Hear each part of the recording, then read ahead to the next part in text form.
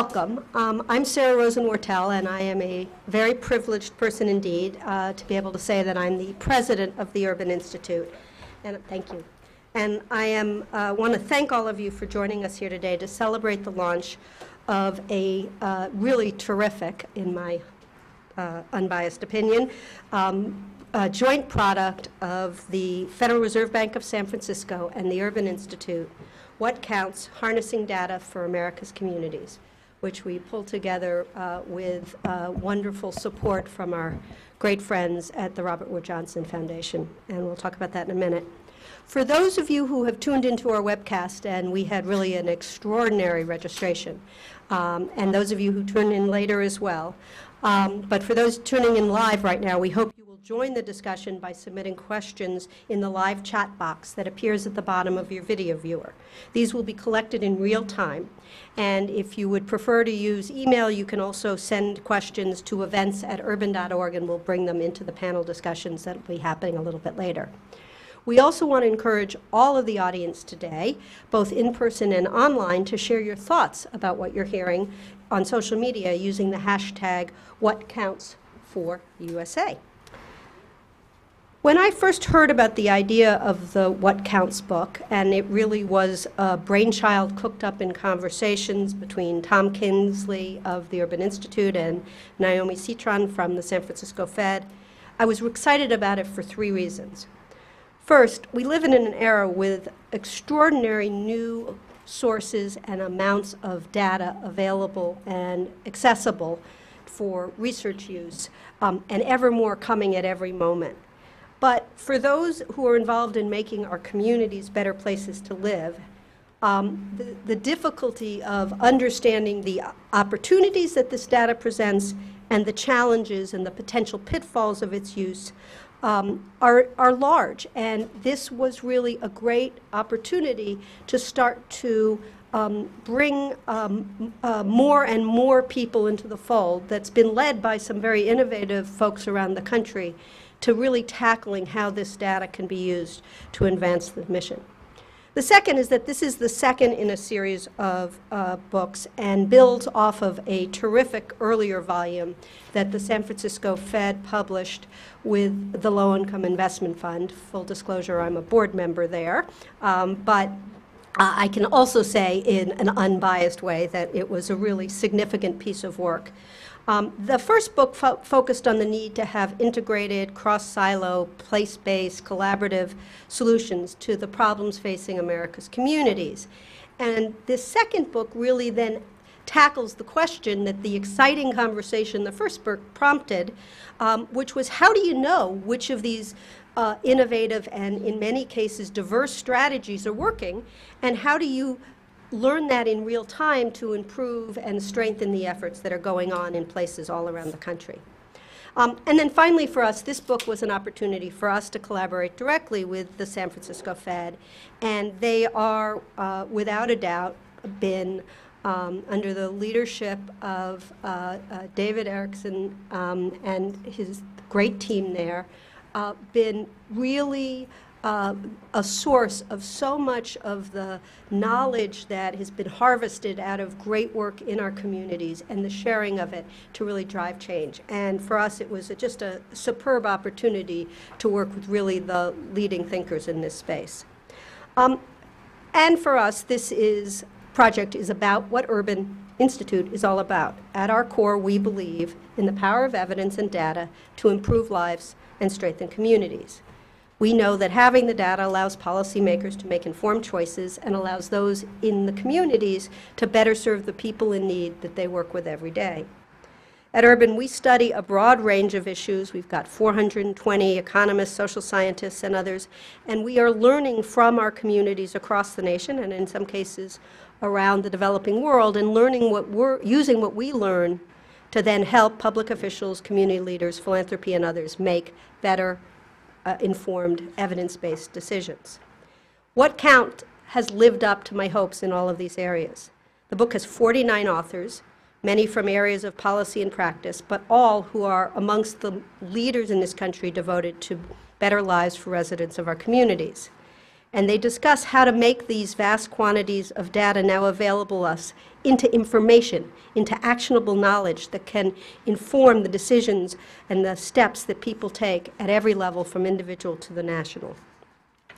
The book covers a whole range of topics, and in the interest of time, I'm going to lend you, lead you to the website to go through uh, a guide, and you're going to hear about a lot of them in the panel that follows. But I want to take just a moment um, uh, to talk about uh, the author of our opening chapter, which sets the frame. Um, that chapter is brought to you by uh, two of my Urban Institute colleagues, Tom Kingsley and Kathy Pettit, and I want to say a special word about Tom. Tom's entire career, which was at the Ford Foundation, at RAND, in the United States and abroad, in government and academia, and here at Urban, has been devoted to improving people's lives and the communities that they live in.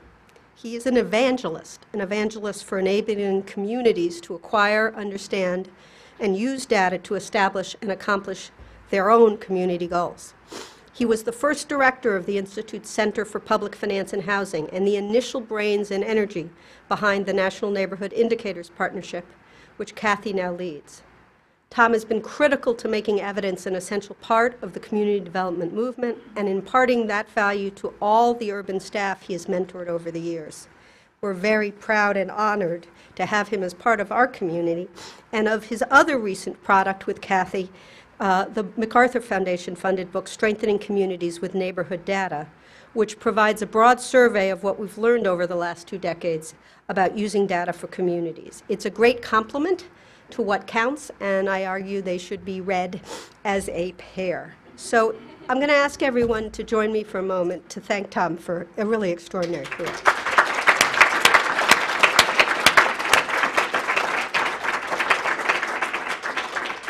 It tells us something about Tom, how uncomfortable he was with that, but we did it anyway.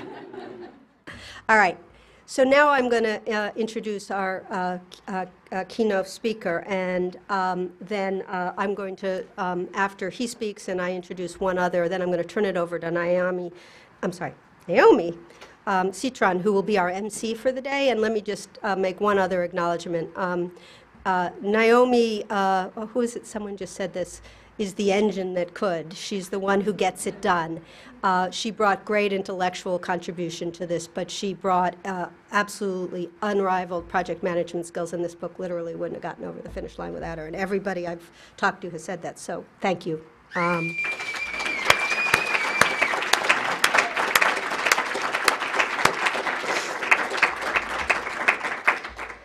The San Francisco Fed is a great partner, but we're excited that we have um, here to join with us today a representative embodiment, if you will, of the entire Federal Reserve System. Um, our good friend Eric Belsky has, yes, he's, he's been growing literally uh, over the last, uh, since August, uh, when Eric became the director of the Division of Consumer and Community Affairs at the Board of Governors. Uh, the Division of Community and Consumer Affairs has myriad roles within the system, but they're all focused on the intersection among communities, people, and the financial system, and to make sure that that system works well for all of uh, the country's citizens and all of its communities. Um, we're really excited that Eric is here with us today. He's an old friend and a colleague.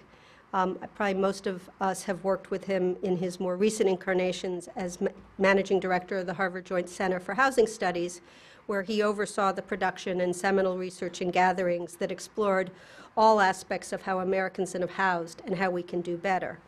He was also the research director of the Millennial Housing Commission, one of the many opportunities we've had to work together, and has been a really important mentor to us and advisor as we launched Urban Zone Housing Finance Policy Center here um, as a member of its academic research council and as uh, a wise source of advice on all things. Um, the Fed is really lucky to have um, our friend uh, Eric uh, in this important role, so please join me in welcoming him.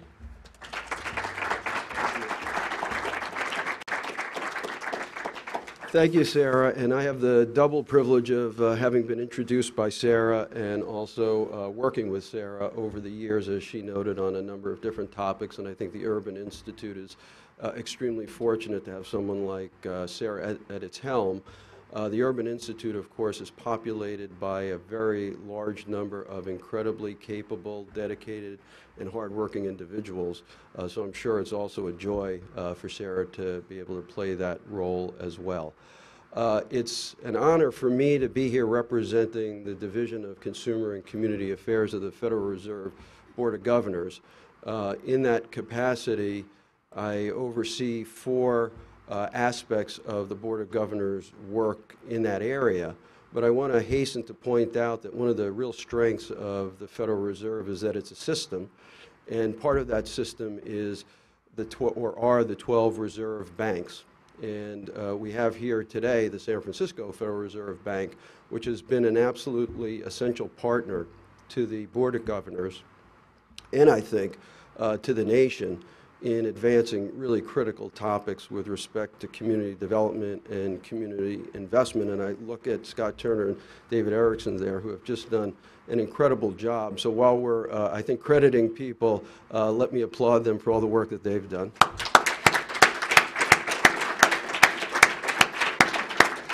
Let me talk for just a minute about what my division does uh, in, in a way to introduce you to it if you're not familiar with the work that we do, and then talk a little bit about uh, the topic we're here to discuss, which is uh, what counts in community development and why I, like Sarah, am just so uh, thrilled to be here and so excited that a book like this was produced. And like uh, Sarah recognized, that it's the second in a series that the San Francisco Federal Reserve really launched uh, with a book on uh, investing in what works in America's communities. This book uh, that we're here to talk about today was similarly ambitious in its scope and its sweep, and uh, I think also uniquely successful in executing on the promise of giving people a full picture of the topic that it was covering, which in this case is looking at how we harness data to try to improve uh, the lives of people in their communities and their own lives. Uh, the Division of Consumer and Community Affairs, as I said, has four uh, primary functions within the Federal Reserve System. And it's important to recognize that the Federal Reserve is unique because it's not only the central bank, it's also a regulator. But at its heart, I would say, and I'm learning this uh, more and more, it's really a research institution. So it shares a great deal in common, in fact, with the Urban Institute in its, uh, I think, relentless pursuit for rigorous analysis, for fact-based research and evidence-based research. So one of the areas uh, that the Division of Consumer and Community Affairs focuses on, which I'll call DCCA just for simplicity's sake, uh, is research and analysis. A second area that we focus on is we uh, write rules around the Community Reinvestment Act with uh, other prudential regulators. We are part of interagency regulatory uh, rulemaking through our consultative role with other agencies, including the Consumer Financial Protection Bureau. So that, uh, that responsibility of rule writing, while much of it uh, is now embodied at the CFPB, we've retained around community reinvestment and comment on all the activities that they do. And that's a very important responsibility. The CFPB is required to have that consultation, but they've taken those consultations very clearly to their heart and very seriously. So it's an opportunity for all the agencies to be able to weigh in on what we think are the key consumer credit access issues, cost issues, uh, industry impact and market issues associated with those rules. The third area uh, that we're uh, charged with is supervision of state member banks, of which we have about uh, 820 some odd banks. About 20 of them are over 10 billion in size, and we share supervisory responsibility around consumer protection laws with the CFPB. But for all those financial institutions, we uh, have responsibility for reviewing them for the Community Reinvestment Act. Uh, and on top of that, we uh, look at the consumer compliance programs of the bank holding companies in the United States. So that's a third responsibility uh, that we have. Uh, and then the fourth is we engage stakeholders to try to improve. And I took a, a, page out of the uh, What series here. I said they should brand the What because now they have what works and what counts. Uh, but we try to engage stakeholders and convene them uh, to try to drive what works in consumer compliance programs for banks and in community economic development. And it's in that uh, last role and in the research role that we are so proud to be partners with the 12 Federal Reserve Banks. The 12 Federal Reserve Banks have provided leadership on a wide range of topics relating to community development in the United States. And they've done that not only in thought leadership with projects like this on national research and the formation of some critical centers like the Center for Household Financial Stability in St. Louis uh, and others, but they've done it also by making a difference on the ground, by convening people, by providing them that background, that fact-based information about what works and some of the challenges in understanding what works, frankly, that have been so critical. So it's great to be here at the Urban Institute and with the San Francisco Federal Reserve because, as I said, we have a commonality of interest in trying to advance the agenda of community development for us as part of our role as supervisor and rule writer around Community Reinvestment Act, but also more broadly uh, to try to contribute to what is uh, a vigorous economy for the United States. And as I said, the San Francisco Fed is somewhat, the, excuse me, the Federal Reserve is somewhat unique in having not only these supervisory responsibilities, but also monetary policy responsibilities. So part of that is trying to help make sure that the governors and the Federal Reserve presidents understand the things that matter to communities and to consumers and the practices and issues that they're seeing and that we're seeing. This book is so important to me because we all know that the scarcest resource, other than our own time, is dollars to get things done in our communities. And it therefore is really incumbent upon all of us to try to do as much as we can in a thoughtful way that's supported by evidence that things work. Now, I want to hasten to say that we don't have evidence about what works unless we do experiment with things. And so it's important to experiment. But we've been at this for a long time. Uh, and the uh, first book uh, on what works in investing focused on what we had learned over time, and in fact, we had learned a great deal. So I think what's so important about this is we need to make smart choices, and they need to be rooted in the root causes of problems and our understanding of them, what works to address them, what we think has the greatest impact in addressing them, and uh, how we can then measure what we're doing again to create a virtuous cycle so make sure that we are actually learning from what we're doing. And I think that's exactly what many, many of the authors clearly have been doing uh, that wrote chapters for the book. And I think it's quite encouraging. Uh, as Sarah said, we live in a world of big data, and I really think we're at the cusp of not only just understanding it, let alone realizing what we can do uh, with that big data. So the topic that this book covers, from I'd say little data up to big data, couldn't be more important. The opportunities are very significant, but it's really hard to figure out exactly how to take advantage of them. And this book starts to point us, I think, in the right direction.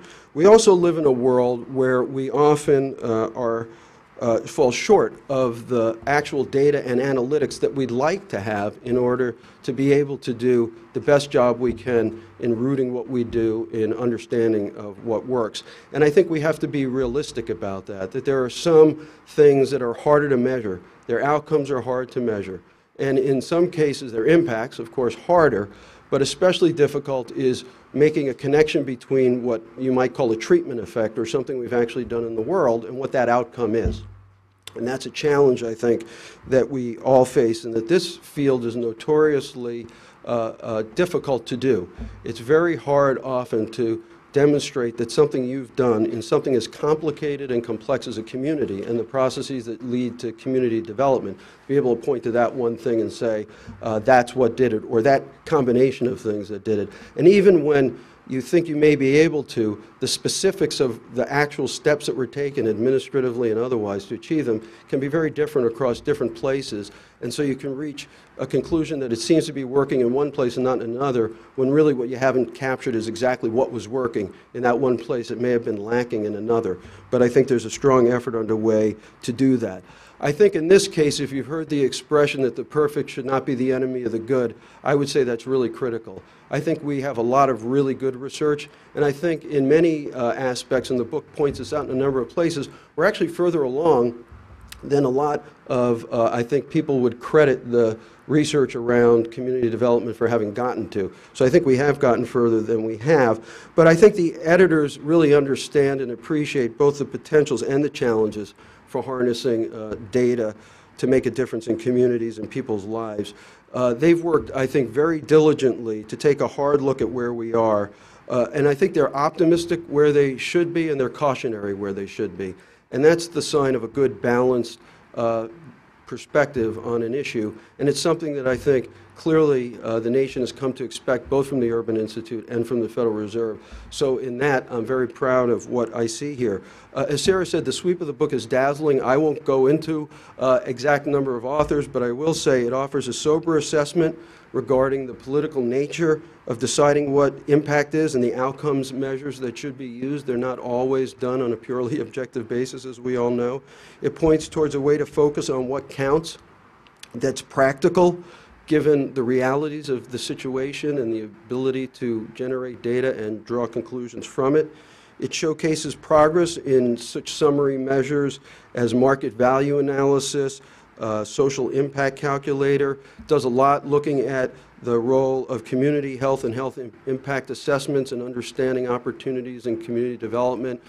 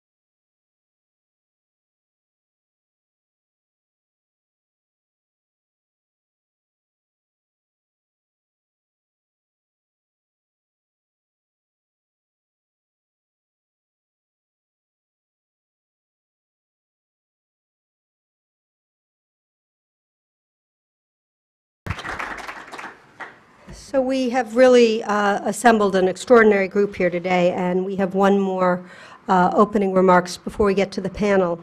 Um, As I mentioned before, we were privileged to have the generous support of the Robert Wood Johnson Foundation here at Urban for our uh, involvement in this book.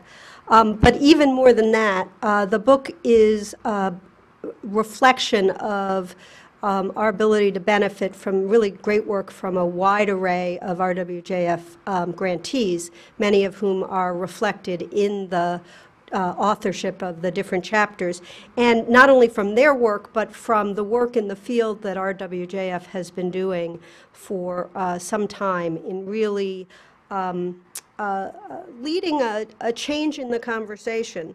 Um, You know, I think we all understand now in a way that we didn't before uh, some of RWJF's work, that um, good health is not really just about healthcare alone. It's about the quality of education and good jobs and supportive neighborhoods and community institutions. Um, And our uh, next speaker, Don Schwarz, has translated this idea into practice, both through his work at the foundation, directing their efforts to catalyze demand for healthy places and practices, as well as his work um, in Philadelphia, where he served as deputy mayor for health and opportunity and the health commissioner.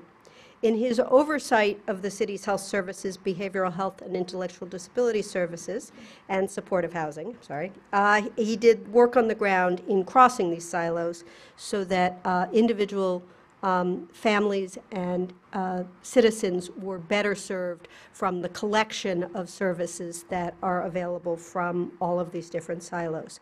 Uh, So uh, if you would join me once again in welcoming uh, our great friend Don Schwarz.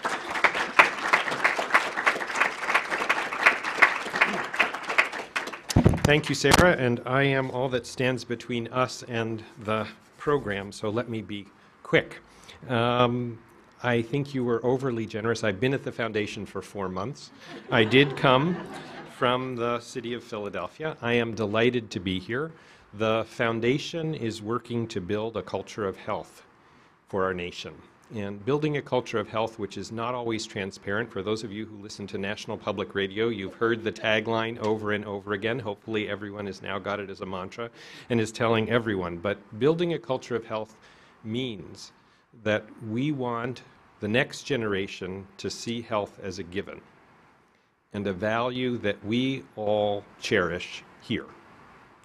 We also see health, therefore, in all activities and believe that the kind of building we are all doing and future that we all see needs to be a collective one where we understand, as Sarah said, that education and housing and environment and many other factors go into having a healthy nation.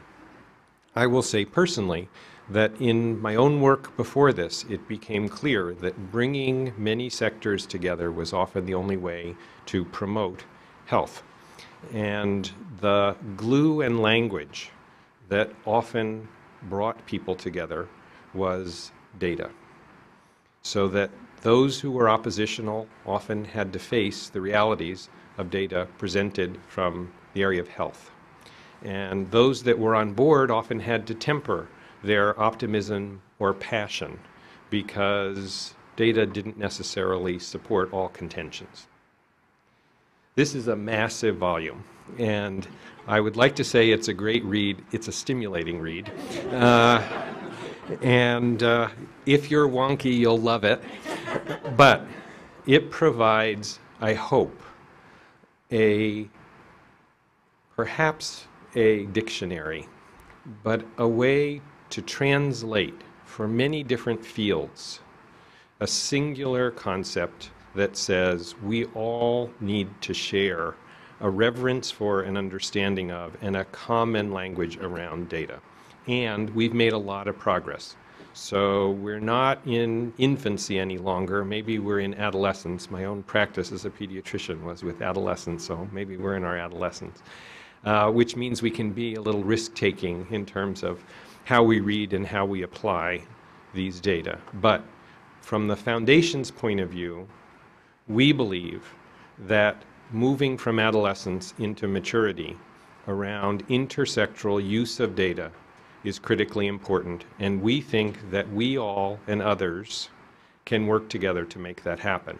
So we are delighted to have supported this book. We are delighted that today is happening, and we look forward to partnering with all of you in terms of making a culture of health in this country a reality.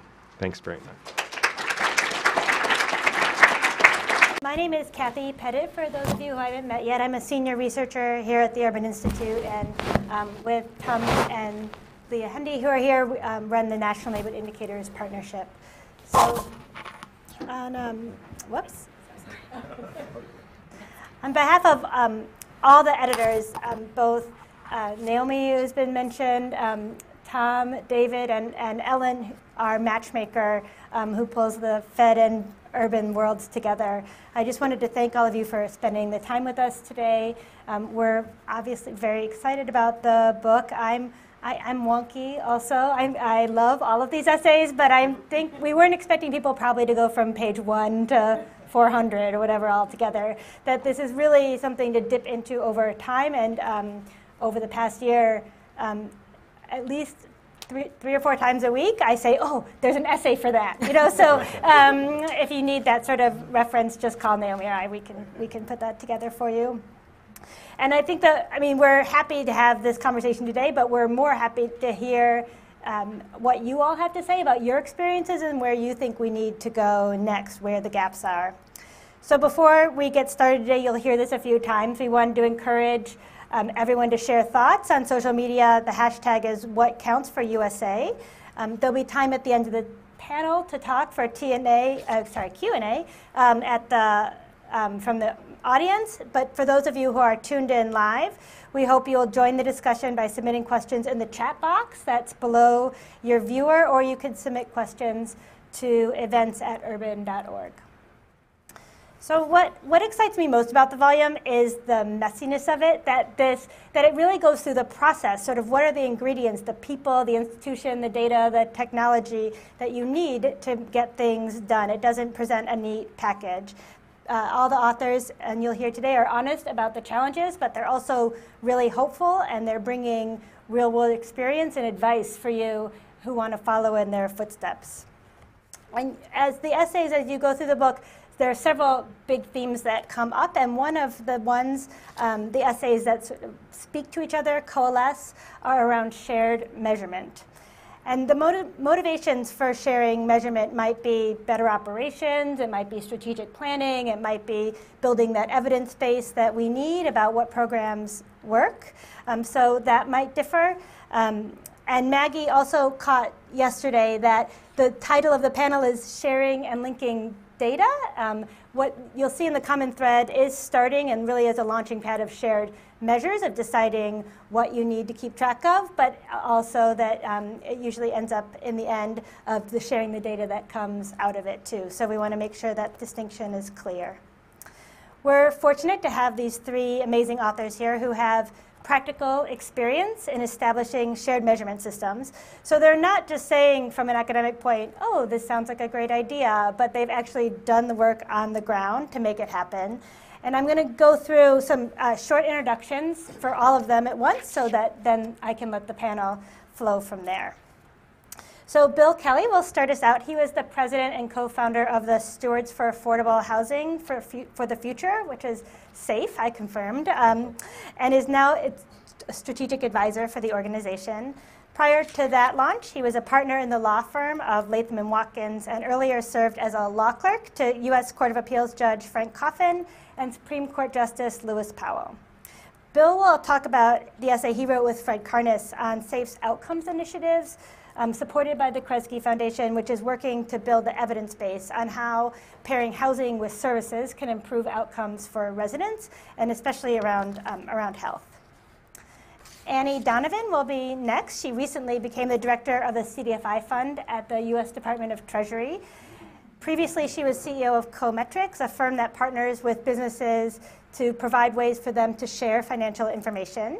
She was formerly senior advisor to the White House, Office of Social Innovation and Civic Participation, and COO of Capital Impact Partners. And her essay with Rick Jacobus describes lessons from two examples of shared measurement, which on the surface may not seem like they are connected, but do um, have common lessons. One from a shared data system with food co ops, and another one, Homekeeper, which was created by the Cornerstone Partnership for organizations with shared equity homeownership programs.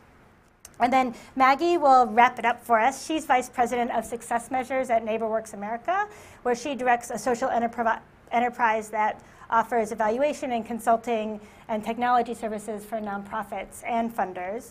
She, previously, she served as the Director of Research and Evaluation at the McAuley Institute, um, and she directed the initial development of success measures, both the methodological piece and the online tool. So she comes with a great experience, and she um, gives us in the essay some good examples of different types of shared measurement, whether uh, organizations that are working on a common program or organizations working with a common population, um, and she can tell you more about that. So if we're going to um, have Bill start us off. Thank you, Kathy. Uh, it's a great pleasure to be here this morning. Um, what we call our Outcomes Initiative at SAFE is a core element of our work, and uh, I just want to uh, once again thank the San Francisco Fed and the Urban Institute both for sponsoring the book and for organizing today's event. Um, and I also want to thank my co-author Fred Karnas for his more than equal contribution to our chapter, uh, which is titled Affordable Housing as a Platform for Resident Services, Building the Evidence Base. So first a word about Stewards of Affordable Housing for the Future or SAFE. Uh, we were formed in uh, uh 2003. We have 11 nonprofit members who serve low income seniors, families with children, formerly homeless, and people with disabilities, really across the country 49 states, District of Columbia, Puerto Rico, and even the U.S. Virgin Islands. So it's a broad based organization of nonprofit uh, housing providers. We have about 100,000 apartments around the country serving uh, approximately 200,000 residents. So it's a, it's a big base. It's a and therefore it creates a real opportunity from a data standpoint. Uh, The members have long recognized the, uh, uh, that stable and affordable housing uh, that they provide puts a roof over the heads of their residents and gives stability to their lives. But they've also long recognized that services, especially coordinated services, can enable residents to lead better lives by, for example, improving their health, performing better in schools, or increasing their income and assets. What got us down the track, started down the track of measuring outcomes was a recognition that in a resource-constrained environment, uh, we could not tell the story persuasively or justify uh, the commitment of additional resources without data that measures resident success. This sort of picks up on the theme that Eric uh, launched us on uh, a few minutes ago. Uh, we see it as a long-term effort uh, to use our resources more wisely and effectively uh, for the benefit of residents by assessing what approaches work. In other words, we're very focused on our operations and not uh, simply on the outside world. We also believe that sustained attention to outcomes will give our members and others like them a better ability to access social capital, uh, to enter into partnerships across sectors, and to spur policy change. This is really a daunting task. Uh, so, taking a cue from uh, the social entrepreneurs that I spend a lot of other time with, we decided the best way to learn to swim was to plunge in. And so, from the outside, from the outset, we uh, faced a lot of challenges. First, uh, the data that our members were gathering were all over the map, understandably focused on meeting the varying requirements of uh, federal and state government funders and foundations uh, from place to place. Um, if we're working in 49 states, we're dealing with a lot of local funders and a lot of different requirements uh, for data gathering. Uh, the measurements were often focused on activities rather than, rather than on outcomes, and so they weren't really telling us much about what a difference it made in the lives of our residents. And they were not always consistent even within organizations, much less across the membership. Even when members were seeking similar outcomes data, uh, they were using different in- indicators and different vocabulary, uh, making it very hard to aggregate and to tell a, a story for the field. Um, so a group of the members stepped forward uh, and created a preliminary set of outcomes indicators and an accompanying data dictionary. The dictionary actually took more time than the, than the, uh, than the list of outcomes measures. Um, uh, it was really hard work because each member had to give up much of what it had already invested time and energy in, in developing its own data collection system. Uh, this is this is tough because you've already, if you're running this program, you've gone to your board and your and your CEO and obtained resources to set something up, and now you're now you're walking away from some of it. So it's n- not an easy uh, not an easy task in a resource-strapped uh, organization. Uh, the resulting 30 indicators uh, were grouped into five fields: health and wellness, children, youth, and education, income assets and financial services, community engagement, and housing stability. Our other members then joined the effort, and now we're, we're now conducting a sort of partial test run on the data that's been collected uh, from some of the properties and trying to aggregate it. Um, in parallel, we've worked with health management associates, um, excuse me, to work with us to understand uh, the healthcare sector and the Urban Institute to advise us on children, youth, and education. As Fred and I noted in our chapter, among the many other challenges, perhaps the most pressing is a shortage of staff resources at the property level to gather the data.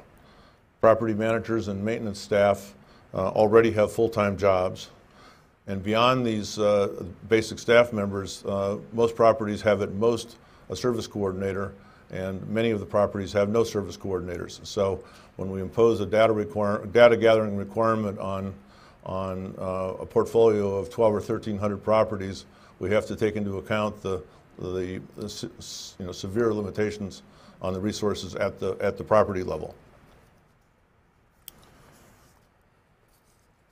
So we've taken a practical approach, as again, as Eric suggested. Uh, we make as much use as we can of the data that's gathered in the course of the annual recertification that HUD requires to maintain uh, eligibility for rental assistance. And we've enhanced that, uh, that annual interview so we're able to gather more data than, than we traditionally have because we're using it for a different purpose. Uh, in addition, we rely extensively on uh, self reported resident surveys. Um, uh, Members have agreed, for the moment at least, to report only on residents at properties that can realistically gather the data. So again, there, all these limitations are, are built into what we can realistically do uh, with our current uh, resources.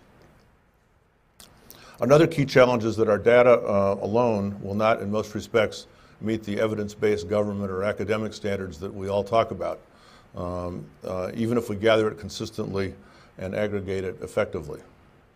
So we've concluded that, uh, nevertheless, that consistent data across the portfolio uh, will allow us to manage the properties better uh, and, and will be pers- persuasive to social investors and, and from a policy standpoint uh, as, we, uh, as we move forward. So we've decided that even though we can't meet the most rigorous standards, we can meet uh, standards of consistency and importance that'll, that'll, that'll make a difference. Uh, In addition, with additional funding, we can conduct demonstrations that'll do a deeper dive into the details and gather a lot more data. And then hopefully we can, we can show correlations between what we've, what we find with our, our uh, uh, current collection of data and, and what uh, we learn from the, from the demonstrations. So to date, we've dug uh, most deeply into our ability to measure and improve access to health and wellness. Uh, and I'd like to offer a little more detail here. You know, as we all know, uh, the social determinants of health dwarf the, uh, the clinical determinants. Um, it's sort of the, the analogy I like to think of is uh, that the social determinants are the dark matter of the health universe. they, they, they're, they're far more important and far uh, more extensive than the, uh, than the clinical determinants. And so um, we need to sort of focus on what, so we decided we needed to focus on what we could do that would help the healthcare sector meet its own goals. That, that if we simply, you know, go begging or, or continue to argue that, you know, funds should be transferred from healthcare to housing, uh, we're going to fail. What we really need to do is understand the other sector and then develop a strategy uh, to develop business propositions that work for both sides. Um, and so we spent uh, several months uh, with our members and with the Health Management Associates talking through what we could do that would help them meet their goals. Uh, and that's, uh, that process actually went on for eight months just to get started and to put us in a position so that we could begin to interact with managed care organizations and other healthcare payers to try to, to try to see where the, where the business propositions uh, were that would make sense. Um, So as, as we launched that dialogue, uh, we began to identify a bunch of target areas. Uh, For example, hospitals uh, now pay financial penalties for avoidable uh, rehospitalizations. Um, And the first few hours of after discharge are critical to the uh, avoidance of that rehospitalization. Um, With our easy access to residents, affordable housing providers have better tools than hospitals to, uh, to reduce rehospitalizations. Um, Managed care organizations are also judged on whether uh, pregnant women receive prenatal care and on whether well babies receive uh, primary, uh, uh, primary care from their physicians. Um, You know, using call centers to track down low-income people, uh, to, uh, to remind them to set up appointments and to get them to those appointments is a horribly inefficient way to do it. Uh, a- a- Affordable housing property with a, with a service provider is in a much better position to be successful at achieving that, uh, achieving that result, and therefore at helping the, the healthcare payers achieve the goals by which they're being judged. Another example of where we can add value, um, uh, you know, no one who can avoid it uh, wants to be in a nursing home or another, any other institutional setting, and it's far more expensive. So if we can find a way to, uh, as Mercy Housing and National Church Residences, a couple of our members have done, to build uh, either independent senior housing or, or housing for people with disabilities and, and give the uh, residents an opportunity to move out of the nursing home and into the housing, we're, we're getting a better result that meets the Affordable Care Act's triple aim. We're getting better health result at a lower cost and a better experience for the, uh, for the resident. So these are all fruitful areas for further exploration and for demonstrations uh, uh, of cost effectiveness and, and health effectiveness that we're going to proceed to dig into over the next, uh, over the next period of time. So bottom line is we know we are in the really early stages of a very, very long journey um, that, we, uh, that we've embarked on, and we have a steep learning curve, but we feel as if having plunged in uh, enables us to, to be learning, whereas if we were holding back, uh, waiting for a more perfect solution, uh, we, we would not be, uh, not be in the middle of a learning process. So I should just uh, like to close by just emphasizing the importance of the contribution that the Kresge Foundation, uh, both Fred Karnas and Kimberly Cornett and the, and the foundation institutionally have made to this effort. We simply couldn't have, uh, we couldn't have launched it, we couldn't be doing it uh, without their support, and, uh, and we're immensely grateful. Great, thank you. Thank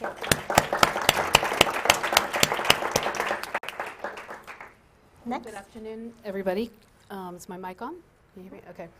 Um, Well, so when this project started, I was the CEO of a group called Cometrics. It's a social enterprise that provides data tools to nonprofits and um, small businesses, cooperatives, and other social enterprises.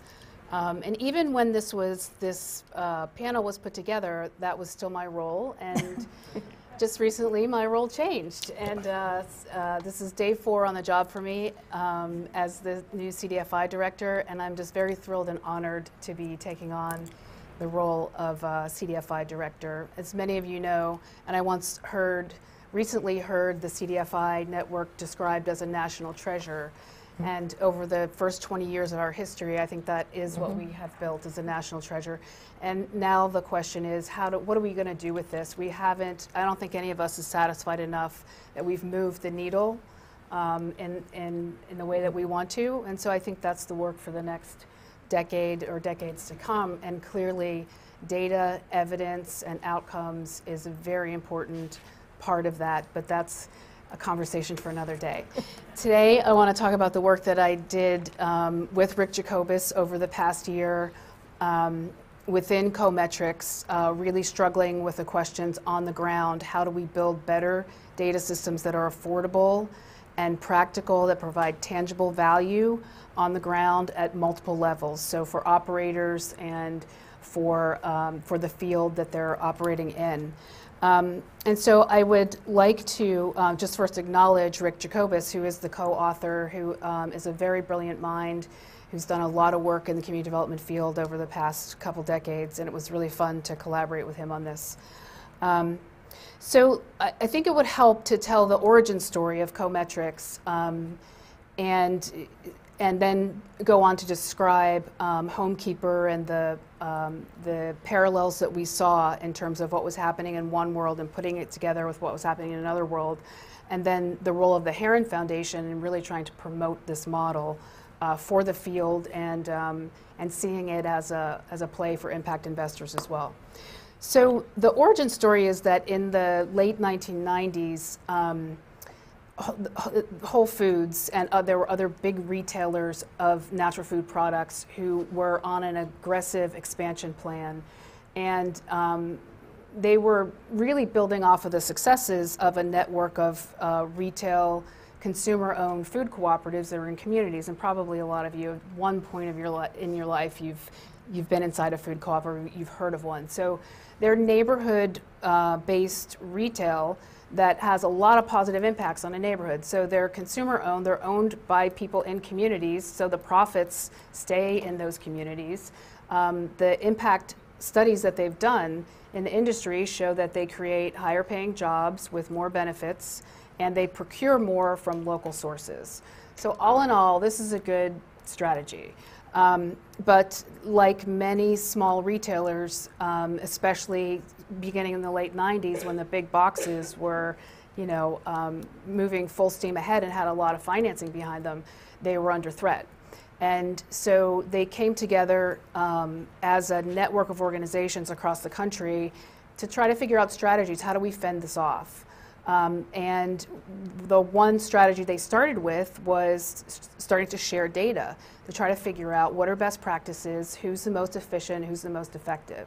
And our founder, Walden Swanson, um, was sort of a um, well, he describes himself as a nerd. I hope you're listening, Walden. Um, and I know he's, he's saying rocka rocka or something crazy like that right now. Um, so he automated a system because he was trying to create as much efficiency as possible. He's an efficiency nut. And he wanted to create a system where nobody had to change their practices at the ground level, or they could submit financial data from whatever accounting system they were using, and he would convert it into a common chart of accounts and standardize it that way. So, you know, if you think about the conversations we've had for now, how many years have we been talking about standardization? he just skipped that whole step and programmed it in. Um, now, it's a lot easier to do that with, with financial data than it is with other data. Um, but we skip that step. Uh, the data, um, if you can upload it or download it, we can upload it, whatever. Um, it got crafted into then um, into this common chart of accounts, that, and then the analysis that could happen um, was uh, was done around peer groups. So this is very much a bottom-up approach, and it started with how do we, uh, how can we stay, how can, how can we thrive in the environment that we're in, and then it was built on peer networks coming together with data to look at the data and start being more data driven. And there's story after story after story about um, how people might have thought one thing and then they saw the data and something else was true. And that was true with Homekeeper as well, where uh, there were assumptions made and the data proved them wrong. And the story that I tell in the book, which is one that I love, is that um, Walden, in the early years, did these sessions where he brought people together and he had all the produce managers in, in New England. He brought them together, and uh, this was just the produce managers, not the general managers. And this general manager walked in. He's like, What are you doing here? And he pulled him aside and he said, I came because my produce manager, the numbers are down, this is not looking good. And I, I thought I could recruit the best produce manager at this meeting. And um, so then they, he's like, okay. And then they peeled off the data and they started looking at it. And what they discovered, what he discovered, is that his manager was actually performing in the top quartile. And that there was a common cause. It was El Nino year, and the price of produce had gone up everywhere. And so it wasn't his produce manager, it was a common cause that everybody was suffering that was happening in the environment. And so he walked out. I mean, you know, it was good for that manager that because he could have lost his job that day. But um, so there just, but there's once you start using data in this way, there's story after story about how this how this happens, um, and that's what's so promising. I think that's the promise of um, of building data cultures inside our organizations so that we can be more evidence based and and I think that it's also important that um, a lot of this really is about culture. So it wasn't the data that really did the trick, it was the fact that people came together around the data. We have a technical term, we call it wallowing in the data. and you have to do the wallowing, you have to just muck around with it to make meaning of it and bring people together and say what's why are you getting that result they might not even realize why they're getting that result until they really start engaging with it um, so that was really important. And then um, what, what became of that is that the food co-ops decided they were strong enough. When you put their balance sheets together, they had a really strong collective balance sheet. And they went out to the market and they uh, formed a, a, purchasing cooperative. And now they are the second largest um, purchaser of uh, natural food groceries um, out there in the market. So it's Whole Foods and then it's the food co-ops. And you would otherwise have you know, little businesses competing with this big one um, in the wholesale market, they're much more competitive, and that has had a direct impact on their margin. Um, and because they have to um, guarantee each other's payables, they had to have transparency into um, into their peers' balance sheets, and somebody has to manage that. So there's a whole um, there's a um, a sponsor that we work with, and the members come in under that sponsor and so there's member level, um, very rich data in terms of operations. And then at the sponsor level, a lot of data um, in terms of how the whole sector is doing, um, as well as the ability to manage the risk in a portfolio of investments. And then, um, so because it was working so well, we morphed into, we went into other sectors. Uh, we started doing work in the housing sector with nonprofit housing developers.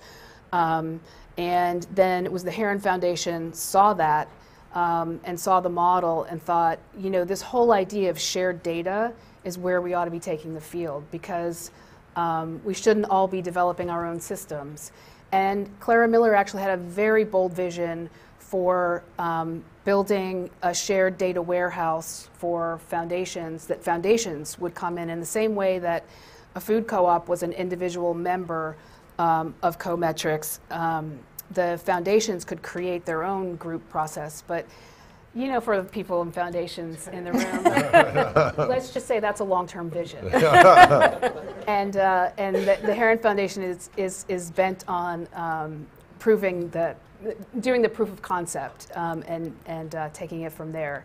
Um, so I'll just give a, a, um, a, well. Let me just say that um, for Heron, um, then what we're doing, what co-op Cometrics is doing for them, is uh, collecting data from their investees, their grantees, um, in a, into we're pulling it into a common chart of accounts, standardizing it, and then actually sending the data back to their investees so that they um, have uh, they can see uh, what Heron is looking at, but also they can have a deeper analysis of their own performance.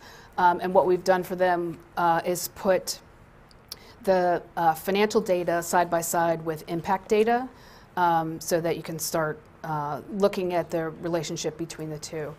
Um, for um, the other example that we talk about in the book, Homekeeper, um, that was sort of on the other end of the spectrum, and um, that was a that's a case in which the data was not easy to collect and not standardized. And actually, it was the Urban Institute um, did a, a, study for Cornerstone, which was part of Capital Impact Partners, um, still is actually.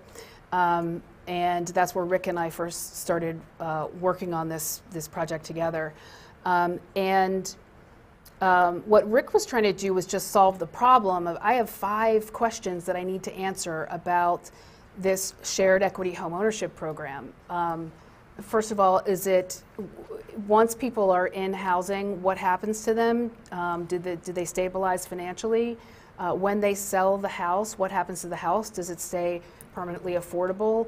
Um, what happens to the community? So he just outlined these five plain language, simple questions, and then um, set about to figure out how he could collect the data. And the path he ended up in was one that, again, went from the ground up rather than, because I think that he saw the path top down was going to just be torture. And um, and the compliance burdens and all that, you know, trouble collecting data, who wants to fill in that data? So what he did was he created this app on the Salesforce platform that um, was kind of co-designed with the people who were going to use it. And when he found the use case for the people on the end of it, they were thrilled. Um, he recalls people crying because this was going to make their day-to-day life easier so it was the ability to figure out how to link the use with the data collection that cracked the nut, and then from there, um, what Homekeeper does is it pulls off the answers to the questions are can be um, gathered from the day-to-day operations of these programs. And so there's a national database that picks off five or you know, it's more than five, it's probably 20 or, or somewhere between 20 and 100 data points that go into the national database that help then analyze what is the impact of this program. And meanwhile, on the ground level, people are just using it, it's making their life easier. So it sort of flips this thing on its head, whereas a lot of our data has been approached as, a, as compliance um, for compliance purposes. Um, we're missing the boat because we're data is, or data are, I'm just saying is, um, is a strategic, uh, somebody has groaned, um, it's, a, it's a strategic asset. and until we start designing the collection of data and the use of data to address the strategic value of the data, then it's always going to be harder than it needs to be. Um, so those are the stories that we talk about, um, and I think uh, Bill laid out a lot of the obstacles you talked about are the same. I think um, individually, it's getting through that first slog of how do you get people to align, and in both of these cases, we got people to align around submission of data because it provided value to them, tangible value. Um, and then, you know, how do you get enough funding? That's still a problem. It's still a problem that funders are still in the mindset that they want their data in their way. This is part of the issue. is that whether you're government or philanthropy, you want to see your data in your way, and that's not helping the field. Um, so um, I would say that uh, that there's there's a good case for aligning, um, Yep. and and then just the just to finally say what has already been said, but I don't know if it's been repeated three times, and you, everybody needs to hear it three times, right, before you're going to remember it. Um, but we can't let the perfect be. We we have to just keep trying. It's hard, and let's just admit it and keep going, and not let that stop us. I recently heard an interview um, by the the the CEO of Uber. Um, so I don't know how you feel about Uber. It's very controversial. Um, this, these comments were obviously not vetted. Um, but what he said was that what Uber is, what that he was talking about. Um, this was not about his company, but about his his philosophy toward failure, and that is um, that a lot of people talk about failure and that we need to. Um, we need to be able to tolerate failure. But what he said that I thought was insightful was, but good entrepreneurs do not stop at failure. You fail, but you keep going. And so, really good entrepreneurs succeed, but they just may have to have failed, and they so they don't stop at failure. They keep going. So. it's a Great way to end. Next. Well, so um, really, I think my remarks will really pick up both on Bill and on uh, Annie's great work. In my essay uh, and in the work we do at Success Measures at NeighborWorks America, um, we really focus on how nonprofits and funding partners, intermediaries, are using shared measures to gather data and feedback directly from residents and places that benefit from community development work. So we partner with people who do the wonderful work like the NNIP work uh, with secondary data and also obviously performance data is important, but we're really focusing in on that direct feedback from residents and places.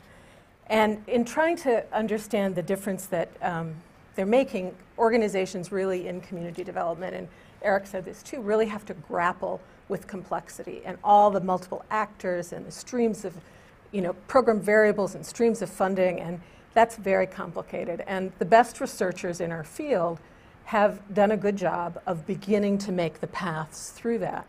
But those kinds of methods and research and money are not really available to frontline local organizations who also need to gather that kind of data.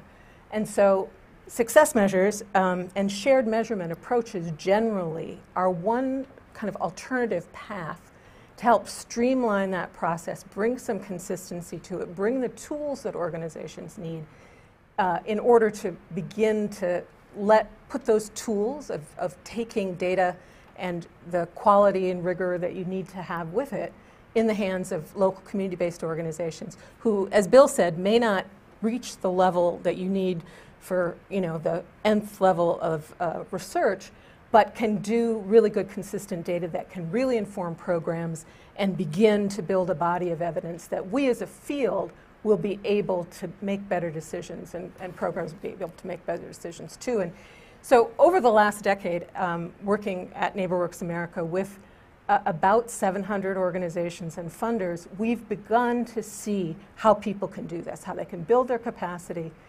take from a set of common measures, begin to build that dialogue about wallowing in the data together, come together in peer convenings and things like that. And so um, I want to talk to you about a couple of examples of that today and, and then some of the principles that underlie that.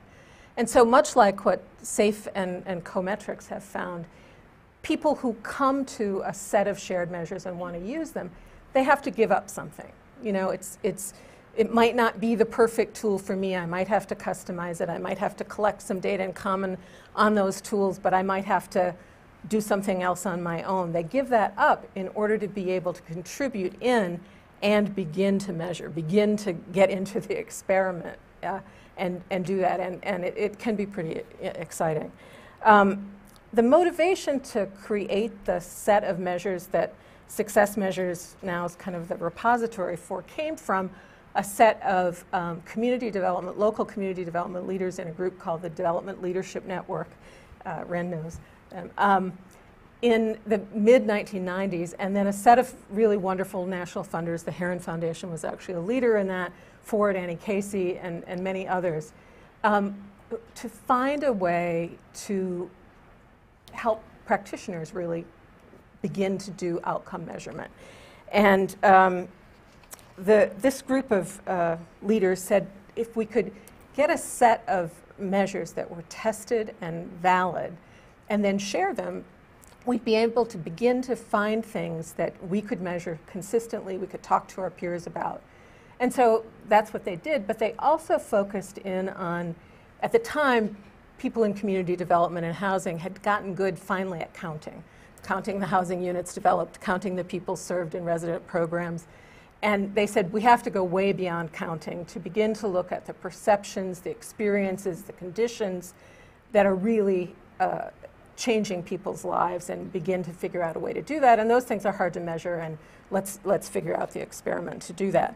So originally, they put together 44 different things that could be measured sense of community, um, uh, personal stability, quality of housing, you know, a, a range of things. And those 44 have, over the last 10 years, grown to be about 300 different data collection tools in about 10 categories that have been developed really through a wonderful field building process. People in the field have been very generous with their time and talent.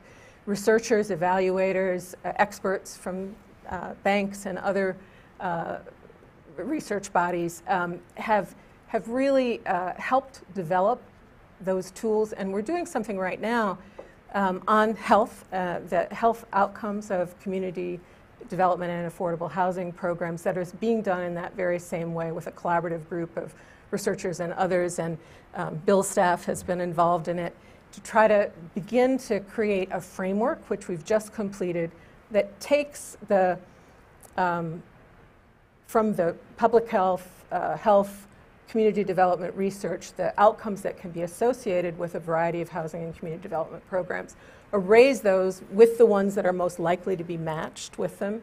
And that framework then is sort of the anchoring network for a set of tools, data collection tools that we're, we're developing over the next year that then we hope will be available about this time next year for organizations anywhere in the country to use. So you can say, I have a resident services program, here are some of the you know, health outcomes. Um, and we are hoping both to acquire tools to be put into this framework that people are already working on, um, as well as having to create a few new ones. So let me just tell you a couple of examples of the kinds of projects that I'm talking about. And one um, is a project that was done a couple of years ago, it was a three-year project uh, that was a partnership between NeighborWorks America and the Citi Foundation. And it was to improve the uh, sort of trajectory and number of organizations delivering financial coaching, beginning with some that were doing housing counseling and other kinds of programs, and then could really add financial coaching, and others that were working more in the financial coaching field. And in this project, um, 30 organizations that were uh, in 17 different states used a common, agreed to use a common tool that was drawn from a set of uh, data collection instruments that we have in the financial capability space quite broadly. And they um, were able to, to do that and then also add in some particular tools that might be on the focus of their coaching program, whether they were working with young population and um, beginning to save for college, um, whether it was more around access to banking services and things like that. But they, the common tool looked at changes in financial status. It then it looked at behavior in a number of ways. So savings behavior, credit behavior, debt behavior, change in financial confidence. Those groups collected data throughout the coaching, financial coaching uh, terms. Some were as short as five months, others were uh, 18 months to two years long and then analyzed two rounds of data on all of their coaching clients. And it was really a wonderfully rich uh, resource of data. But what was really critical was how the people used the data. And one of the most primary pieces was to motivate the clients. So they shared the data back with the individual clients. And they were able to see how their financial confidence was changing. you know, the, the, how not just the number of their savings dollars, but in what ways savings had become a real habit with them and, and was an integral part of their life. So that was a very critical piece. And of course, they also shared that with their funders, and they, you know, tried to, you know, use it in strategic planning in their organizations. But another really big piece, and, and both of you have touched on that a little bit, is the busting of myths, the cha- you know, the challenging of assumptions. So people were going in and they were delivering some financial education up before the financial coaching programs. They're heavily into use of formal financial products, and then they got the data back and everybody was banked. And they had wasted, you know, some really precious time. Yeah. Uh, there were other people who were really focused on consumer debt when everybody had health and uh, student loan debt and no one, you know, very, very low consumer debts in their program. So those things changed completely the way people were delivering their programs. And then when we also had peer convenings for people to bring all their data and wallow in it and try to figure out the best ways to use it, they were really able to then take the next step in program design. And so we see this as a very critical use of this kind of data. Um, we hope that you know there are ways that it can also inform you know the, the, research community.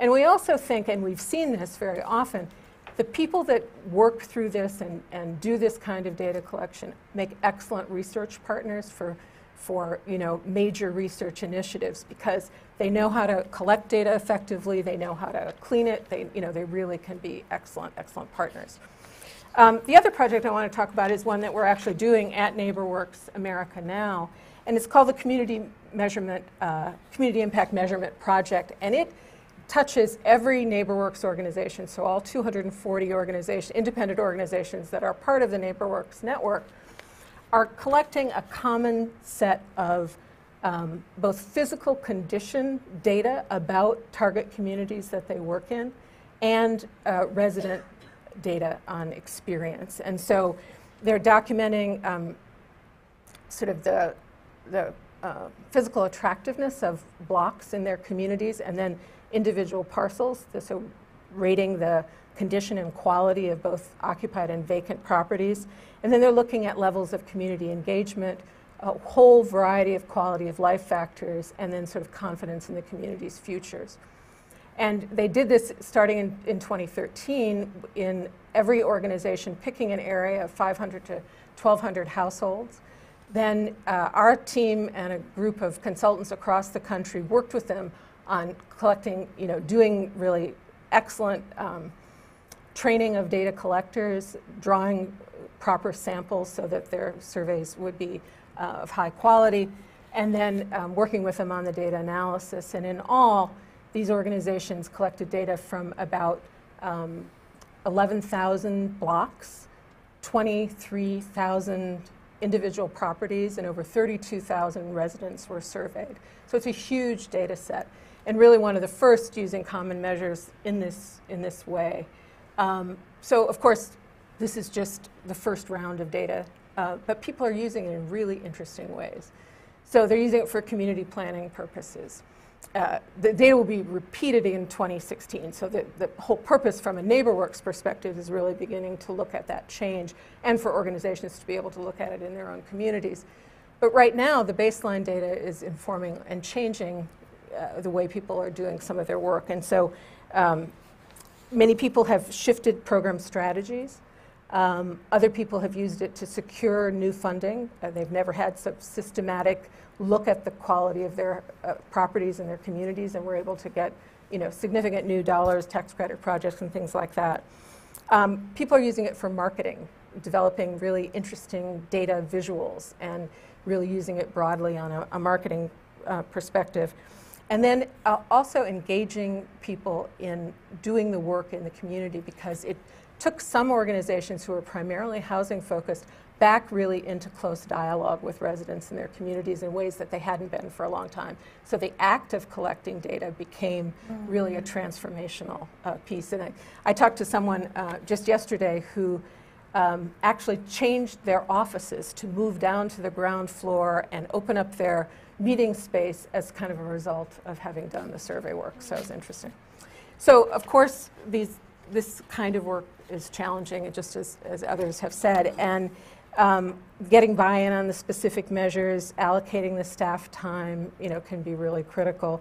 addressing staff and leadership turnover, particularly in longitudinal efforts. You know, it's really important to be able to pick up. And so we have a special program that when an organization has a new staff member, if they're a member of our network, we invest in training that new person. Ensuring data quality is, is really, you know, also a really big piece.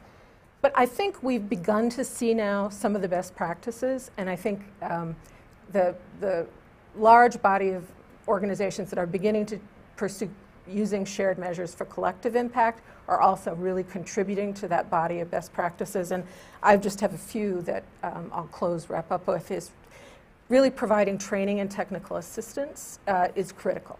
At the first year, most people, once they've done it, can really sail through, but they need that investment in the early stage.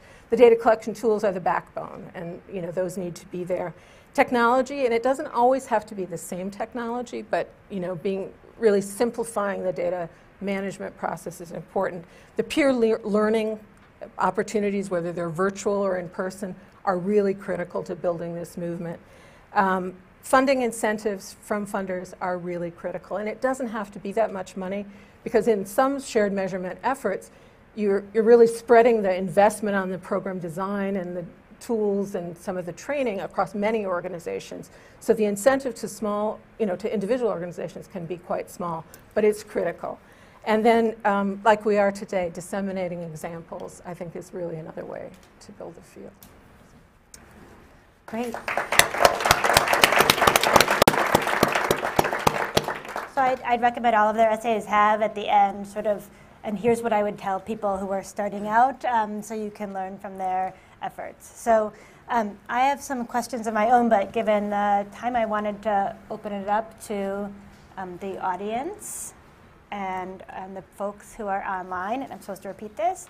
Um, so if you're online, you can submit the questions in the chat box or send the questions to events at urban.org. And I can start with um, one from Susan Vaughn from Neighborhood Centers. Um, and Bill, this was how did SAFE decide which out- outcomes to focus on? Uh, was there any resistance in moving from activities to the outcomes, and how, how did the group overcome them? I, I guess fundamentally, the, um, the members were in, in the process, some, some well along, some just starting, of basically understanding the need for outcomes measurements, uh, both to inform their own work and also to, you know, to move policy and, and financing. So, so it, that wasn't itself a, a, you know, a hard sell. That was, that was the easiest part of it, and it's been very interesting how uh, engaged, uh, um, and not surprisingly, but how engaged both the CEOs and the, Right. the people in charge of, of uh, this work at each organization have become.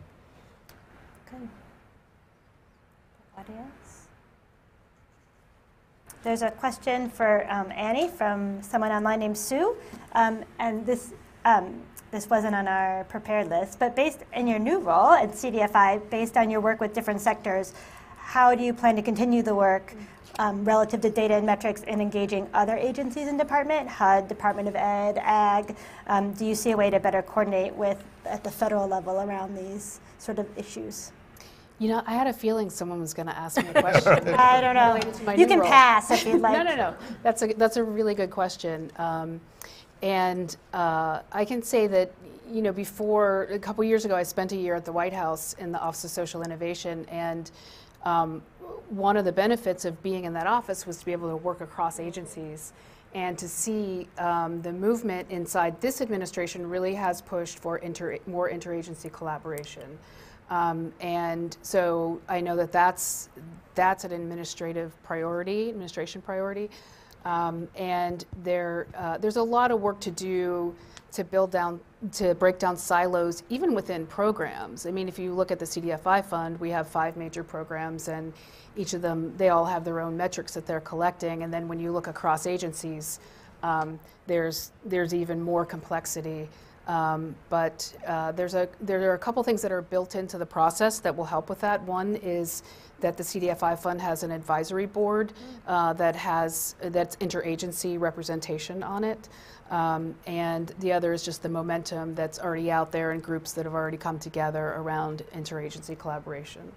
Great. Yeah, I'll plug Victor's um, essay on promise and sustainable communities in the book too, which which um, address some of these issues. Yes. I just, a comment I'd like to make, it seems to me that the liberation of government data is one of the biggest needs in this field. If we're going to do, a bit, take a big data approach to any of this and correlate the, the information we're gathering or that, that the co-op, or the co-metrics gathered or that NeighborWorks is gathering, you know, against the, the bigger portfolio, we need to get access to that information. And the, yes, there are legitimate privacy concerns and there are some legitimate concerns around business confidentiality, but I think they're way overblown and I would love to see more agencies spend more time figuring out how to get around them rather than just fending us off by, by, uh, by citing them. So that's a, Yeah, and I, th- I think that also the op- there's a whole open data agenda um, that the Office of Science and Technology Yeah. Policy has pushed, um, and I think the the problem comes in whether rubber hits the road, Yeah. and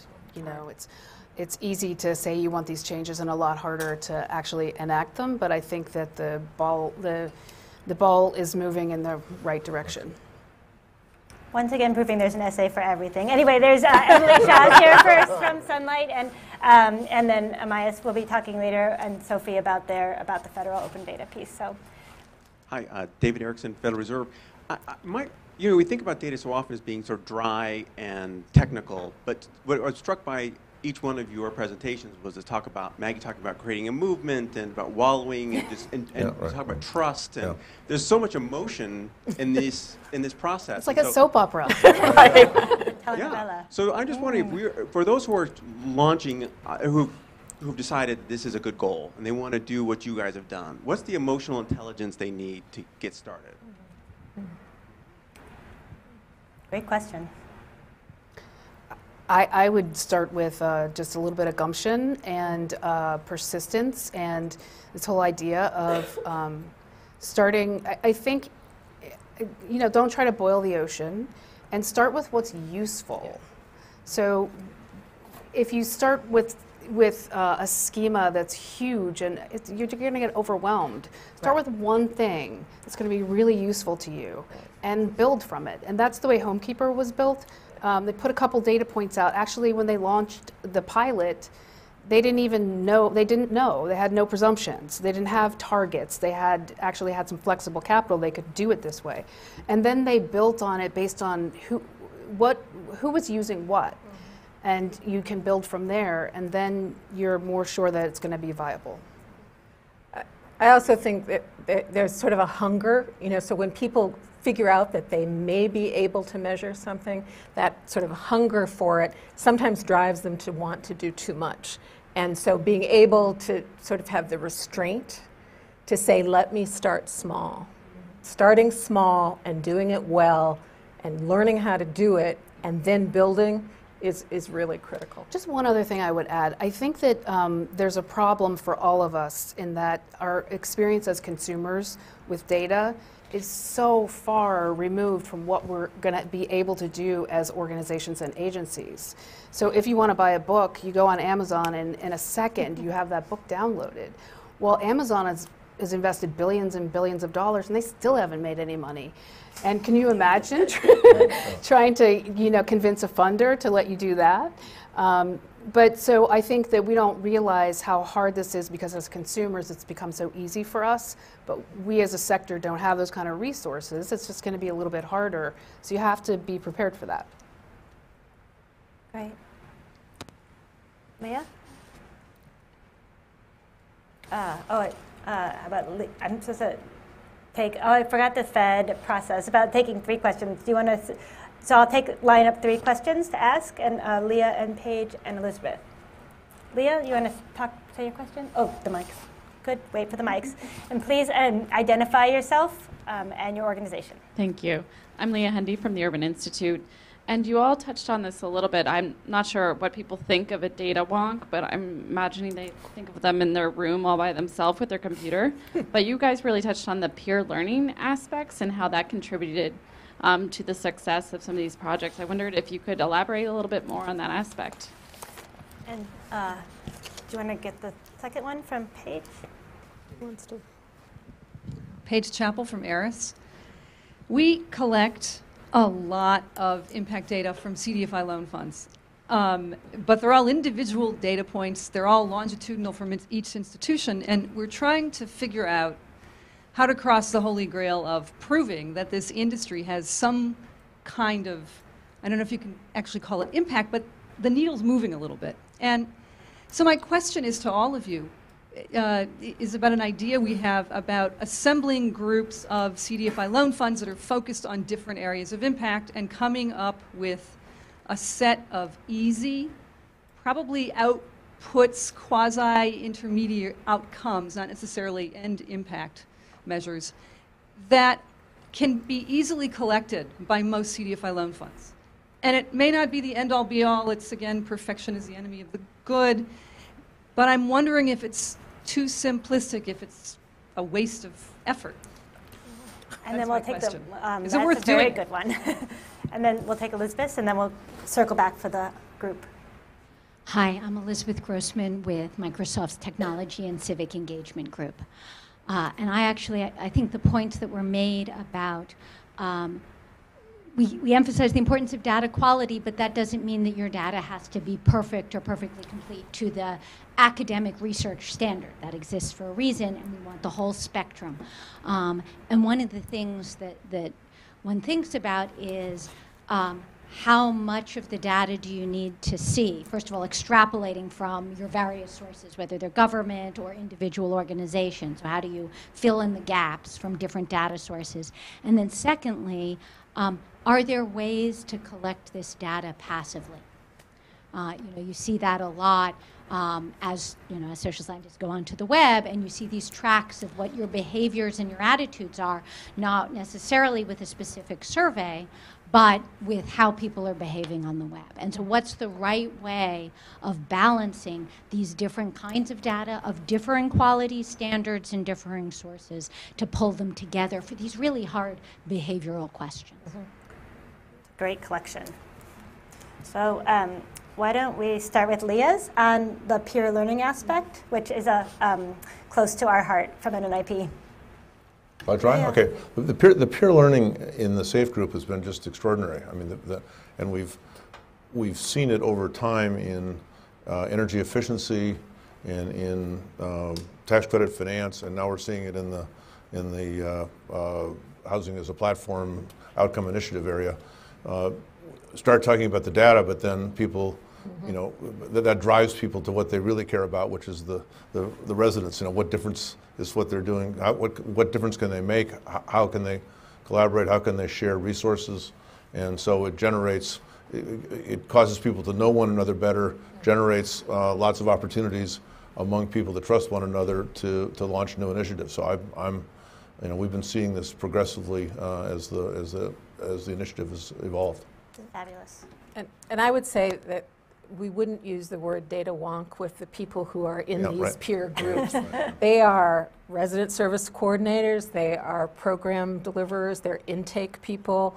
They, you know, sometimes they're sort of a more senior program manager, and uh, eventually, I mean, occasionally you'll we'll have young people who then really take off on a career in evaluation and data because they got introduced to it through this process. But it really is democratizing and, and getting people uh, really skilled in understanding how to frame a question, how to find the answer, but they do it because they're able to talk to people who look like them and think like them.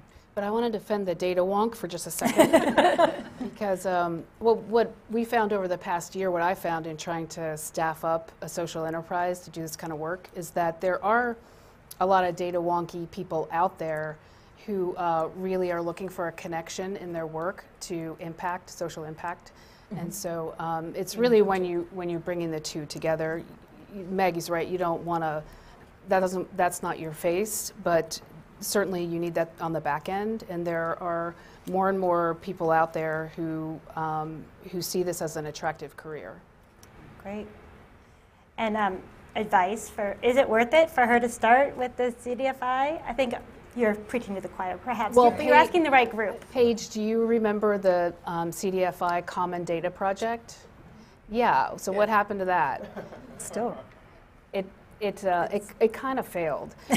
so it was It was the opposite of that, right? Let's get everybody in the room who could possibly, we can possibly think of, and try to think of every data point and then negotiate the, I mean, I, uh, the book, um, The Lean Startup, was something that was all the rage for a while, and this was the approach that, that um, the authors talked about, that you start little, that you iterate, you learn fast, make it simple and build from there. And I think that's the way to go. And the other thing is, you're not risking that much if you just try it and see what happens. So if you need moral support, you can tweet out your, your woes and we can answer back. Um, and speaking of um, tweeting, I think you know we were struggling with this too. I think I'm more comfortable with administrative data about this wealth of social media and tapping perhaps into existing federal data sources and how to um, really both mine new types of data that I think we don't know how to analyze yet, um, and existing stories that have been locked away, you know, for compliance or for other purposes. So I don't know. Yeah. Well, I see Maggie nodding. I think it would. I think it would be a great experiment to have the kinds of partnerships that would allow community-based organizations and even larger nonprofits don't, you know, don't have the, that access to data. But finding the right kinds of experiments and partnerships to do that. And I think one of the arenas um, to do that might be in the financial coaching, financial capability space where, where using online platforms to sort of do diaries, financial diaries. There's a great research initiative that's been done on financial diaries. So there may be, you know, some, some subsectors and there might be some places in health too mm-hmm. where that um, that marriage and some experiments, and I would love to see, um, you know, those to take off. There's some experiments that have been done about having the vocabulary speed and correlations with postpartum depression. Wow. Mm-hmm. Right. Which is not a substitute for actual yeah. Bill, you had something to add about no, that? I've just, I, but I, but I think that the proxy data is a is a is a you know a really key opportunity here. We just simply can't gather what we like to gather on a on a question by question, uh, document by document basis, or by, you know, getting every school system in the country to turn over their, you know, their uh, grade reports to, to every community developer and housing provider. I mean, that's just not going to not going to happen. So we have to work our way, at least in terms of policy formulation and social investment, we have to work our way towards more more proxy indicators. And um, another question, and I, am not sure if um, this is relevant how this fits into each of your pieces, but someone is asking from the webcast how the book addresses the city government's capacity to be involved and effective as a, as a partner, either with civic tech or the software you know, information that they have, citizen engagement. So, so I have to admit to being uh, jet lagged from a 24-hour trip back from Rwanda, and I had downloaded the, the, the book on the on my uh, on my iPad, and then my iPad didn't function oh. on the, the flight. wow. so, so, I haven't read the book except our, our chapter, so I, I don't think I can be responsible right now. Right. Yeah. So has this been? Um, well, we have worked in partnership occasionally with city city governments. Um, we're doing a really interesting project right now in that we were talking about a minute ago in Pittsburgh. That's really uh, a group of, of, funders who are interested in figuring out the different strands of data. The great NNIP site at the University of Pittsburgh that's really worked on the secondary data, but they have grand, really great relationships with the local mm-hmm. county, city, and others. And the mayor's initiative there, uh, a new mayor, is focused, has a special initiative on data. And the city as a whole, really the community and metropolitan area, is trying to figure out how to coordinate all of the data sources. And so there, the municipal, as a lead, as a important uh, player and contributor of the data is, is, is a really interesting model, I think. And yeah. I think uh, one other example is uh, the work that has been done in Detroit. Um, so you're probably familiar that the administration has had a, a, a big push in Detroit, and uh, they did a really interesting project where they um, enabled people with their smartphones to go out and collect data on blight, and they lickety split were able to get um, compile information on uh, blighted properties. Yeah. So.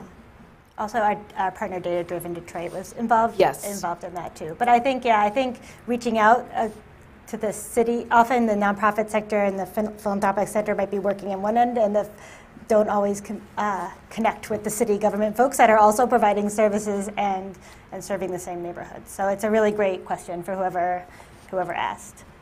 Um, is there anyone else? Last questions before I go to the online, one last online one maybe? Um, I think the, this is a good question um, connecting because we have said that we don't want to let the, perf- the perfect be the enemy of the good, but at the same time, there is a need for um, evaluation and, ev- and evidence based and some of the um, you know, more rigorous work. So I think Maggie, you mentioned a little bit about how some of this data can feed into that sort of work. Um, I don't know, Bill, have you guys thought about w- that? We've, we've thought a lot about it, and what we're, what we're looking to do are to do demonstrations that are in a much smaller scale and correlate it with the, with the, uh, the broader data set to see what we can, what we can learn. But we recognize we have to do, uh, for example, in healthcare, we need to do some more demonstrations about some of the, some of the topics I talked about earlier. Uh, so, to, so what, what works to avoid rehospitalization? What works to, you know, what kinds of people should move from nursing homes to, to uh, independent supportive housing and so on. And, and so, so we look to be doing some of these demonstrations, but they're very expensive and the, and the data analysis is very expensive. So we'll try to do those on, on a limited basis while still collecting uh, data across the broader portfolio. Yeah, sounds like a great mix. And I would just say that, um, yes, it probably sounds like we're, we're dissing the, the randomized controlled trial, but Yeah. I think um, those are still really important, obviously. But, uh, but they're, if that's our standard, though, we'll never get started. And I think that's why there's so much emphasis on this other method. So uh, that was a great way to end um, about getting started. So if we could give our panelists a round of applause.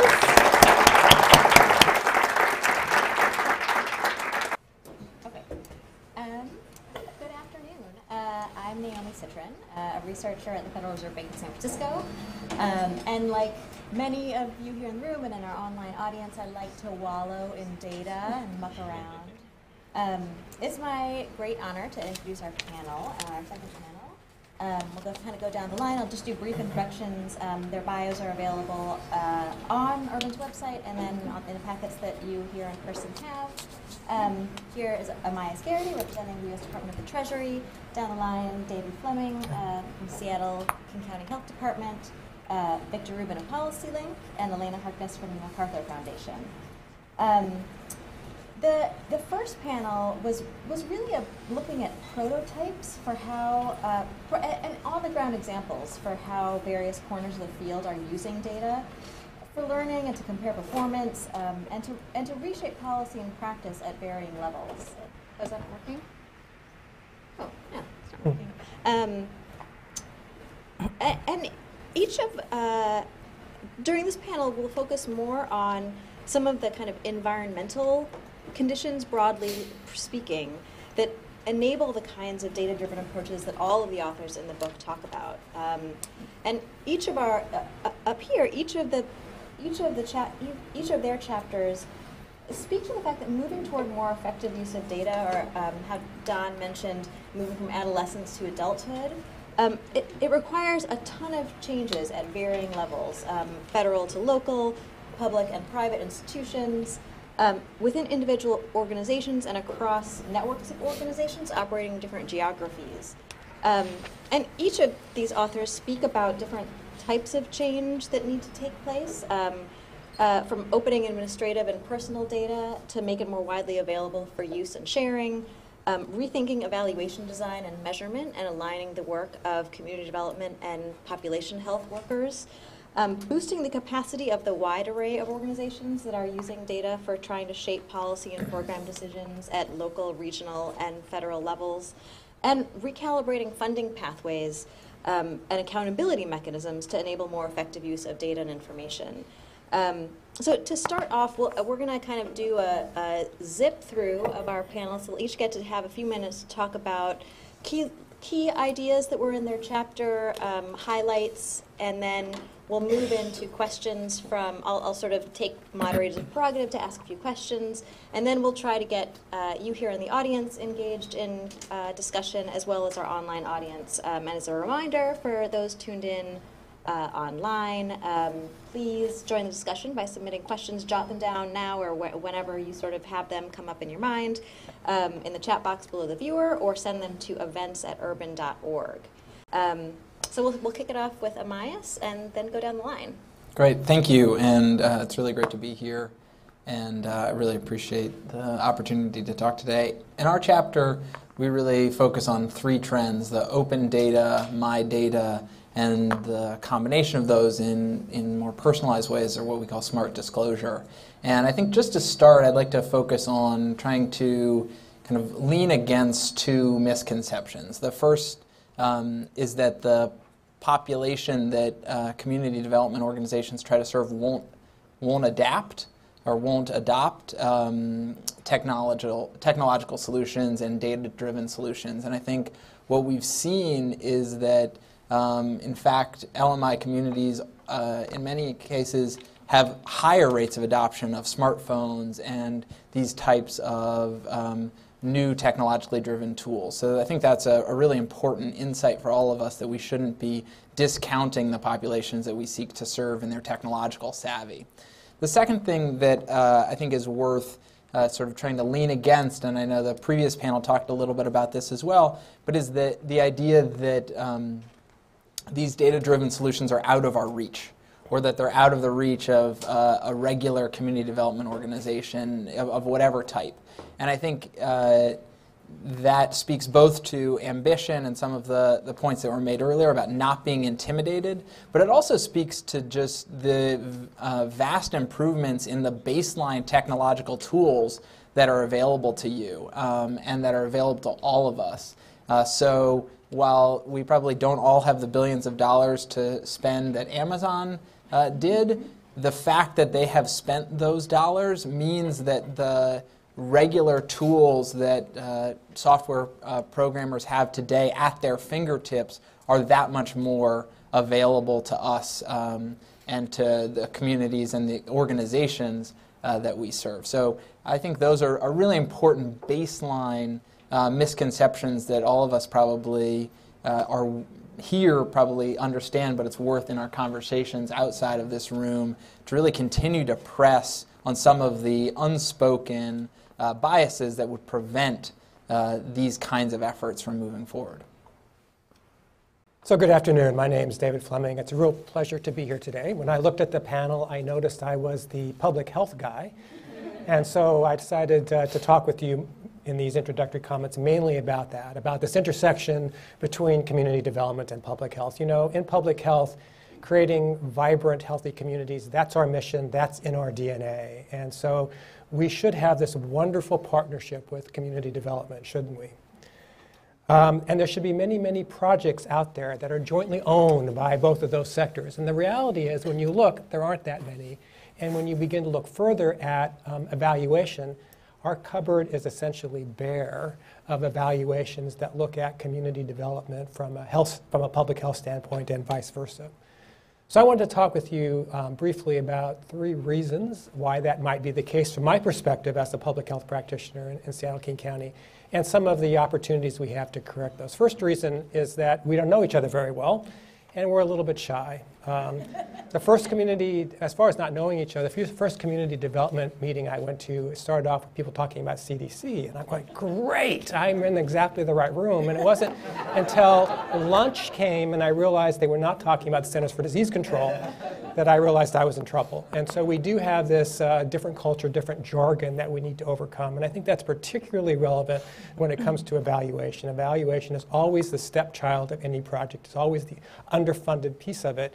And when you're dealing with two cultures that are struggling to get to know each other in the first place, um, evaluation tends to drop off the table. And so, first um, lesson for me is we need to be intentional and we need to make sure that we think about and design evaluation into our projects at the outset. The second issue to me that's a problem, specifically relevant to health data and community development, is that we are looking for our health data under the lamppost. And that's exactly the wrong place to look for it in this field. Public health is blessed by having tons of health information. The reality is that very little, if any of it, was designed to help in the community development field. Almost all of our information is based on individuals rather than on community characteristics. And so, one of the things we need to do, and we've already talked about this in the previous panel, is to begin to recognize that those community measures of health that are not just aggregates of individual measures are something that increasingly we need to focus on in our evaluation, and we need to decide what they are and standardize those across jurisdictions so that we can be measuring and comparing in the same way. But to me, the second and more difficult problem with respect to only looking under the lamppost is that almost all of our health information was designed to be relevant at either the national, state, or sometimes at the county level to produce county level estimates of health. And we all know that's essentially useless when you're talking about community development. In my jurisdiction, King County, our county numbers are like Lake Wobegon, pretty much above average on everything. But what that hides underneath is huge disparities by neighborhoods, by census tracts. And if we only have access to county information, we're not going to be able to get very far in community development. We need to be working on the concept of a neighborhood health record. And third, and perhaps most complex, um, we need to learn how to talk dirty. Uh, in uh, biomedical health, we've already heard the randomized controlled trial is the gold standard. That's something that's probably not feasible in most of what we do. So for my community de uh, de development colleagues out there, I'd ask you to bond with your public practitioner brethren.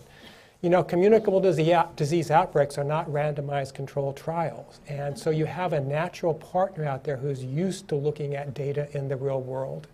And in addition, and you all need to be the voice for this because public health people are not going to go there naturally we need to be moving upstream in what it is that we're thinking about measuring. If we fall victim to the tyranny of the hard health outcomes, we are going to um, shoot ourselves in the foot because, in general, the changes that we're making in community are going to take months to years to even decades to manifest themselves as measurable health outcomes. So we need to develop those logic models of what it is that we're trying to accomplish, including having those end ending health outcomes but then backdate it, upstream it, so that we know what are the first things that we're expecting to change in interventions and make sure we're measuring those. And in a world where we're talking about where we're talking about outcomes, we know we failed in both health and community development in improving community lives. We know what the outcomes are that we're trying to achieve. What we're focusing on is doing things differently. And so the fundamental goals of our initial evaluations is to say, What's that process that we want to do differently? How do we want to change funding models and focus on measuring those? So we have a natural partnership in front of us. Uh, we're at the very beginning of it. We need to um, get to know each other better.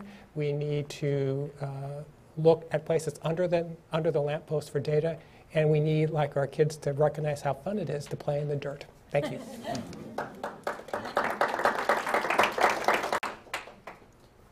Thanks, Naomi, and to everyone at Urban Institute and the San Francisco Federal Reserve. Uh, we're honored to be in this company. I speak not only for myself, but for Michael McAfee, the director of the Promise Neighborhoods Institute at PolicyLink, who co-authored the paper, and my colleagues Kalima Rose and Danielle Bergstrom, who did a lot of the early work on uh, the Fair Housing Equity Assessment, which I'll talk about in a moment.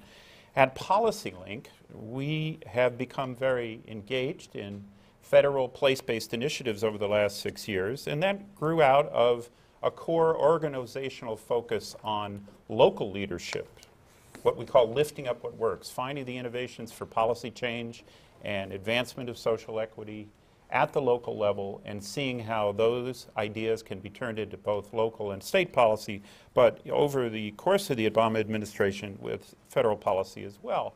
In our essay in the book, we talk about the Promise Neighborhoods program and about a component of the Sustainable Communities Initiative known as the Fair Housing Equity Assessment. These are a bit like uh, polar opposites of each other, but they have the same set of principles, I think, underlying them.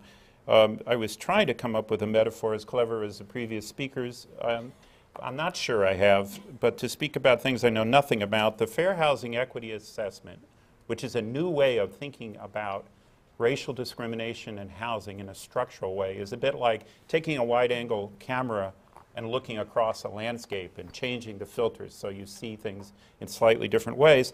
And the promised neighborhoods approach to data and analysis is more like looking under, into a microscope and putting a succession of slides into a microscope with the same frame to look at the same kids and the same communities in different ways. So one is going very large by design, and the other is focused almost laser like, to use another bad metaphor or simile, um, uh, that um, has a technological feel to it. Um, in any event, what we've been able to do is provide some support to the practitioners in each case.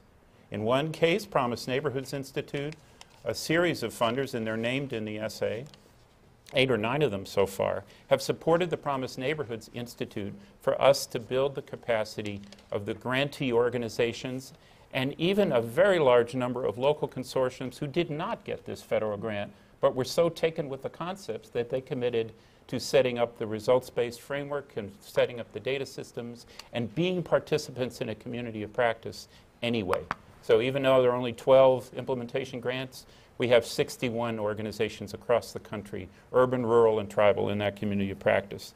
In the Fair Housing Equity Assessment, um, about 87 grantees of the Sustainable, Com Sustainable Communities Initiative, all doing regional plans for sustainable development and what we now have come to call economic resilience, working on housing, transportation, land use, environmental quality, um, we're asked by the Department of Housing and Urban Development if they would pilot an entirely new methodology for thinking about measuring, documenting, dialoguing, and deliberating about fair housing, about racial discrimination in housing, housing discrimination against people with disabilities, other forms of housing discrimination, but to look at it from a, from a fundamentally broader lens, a lens of structural impediments to creation of communities of opportunity, to understand phenomena like the suburbanization of poverty, to understand the interplay between transit, housing,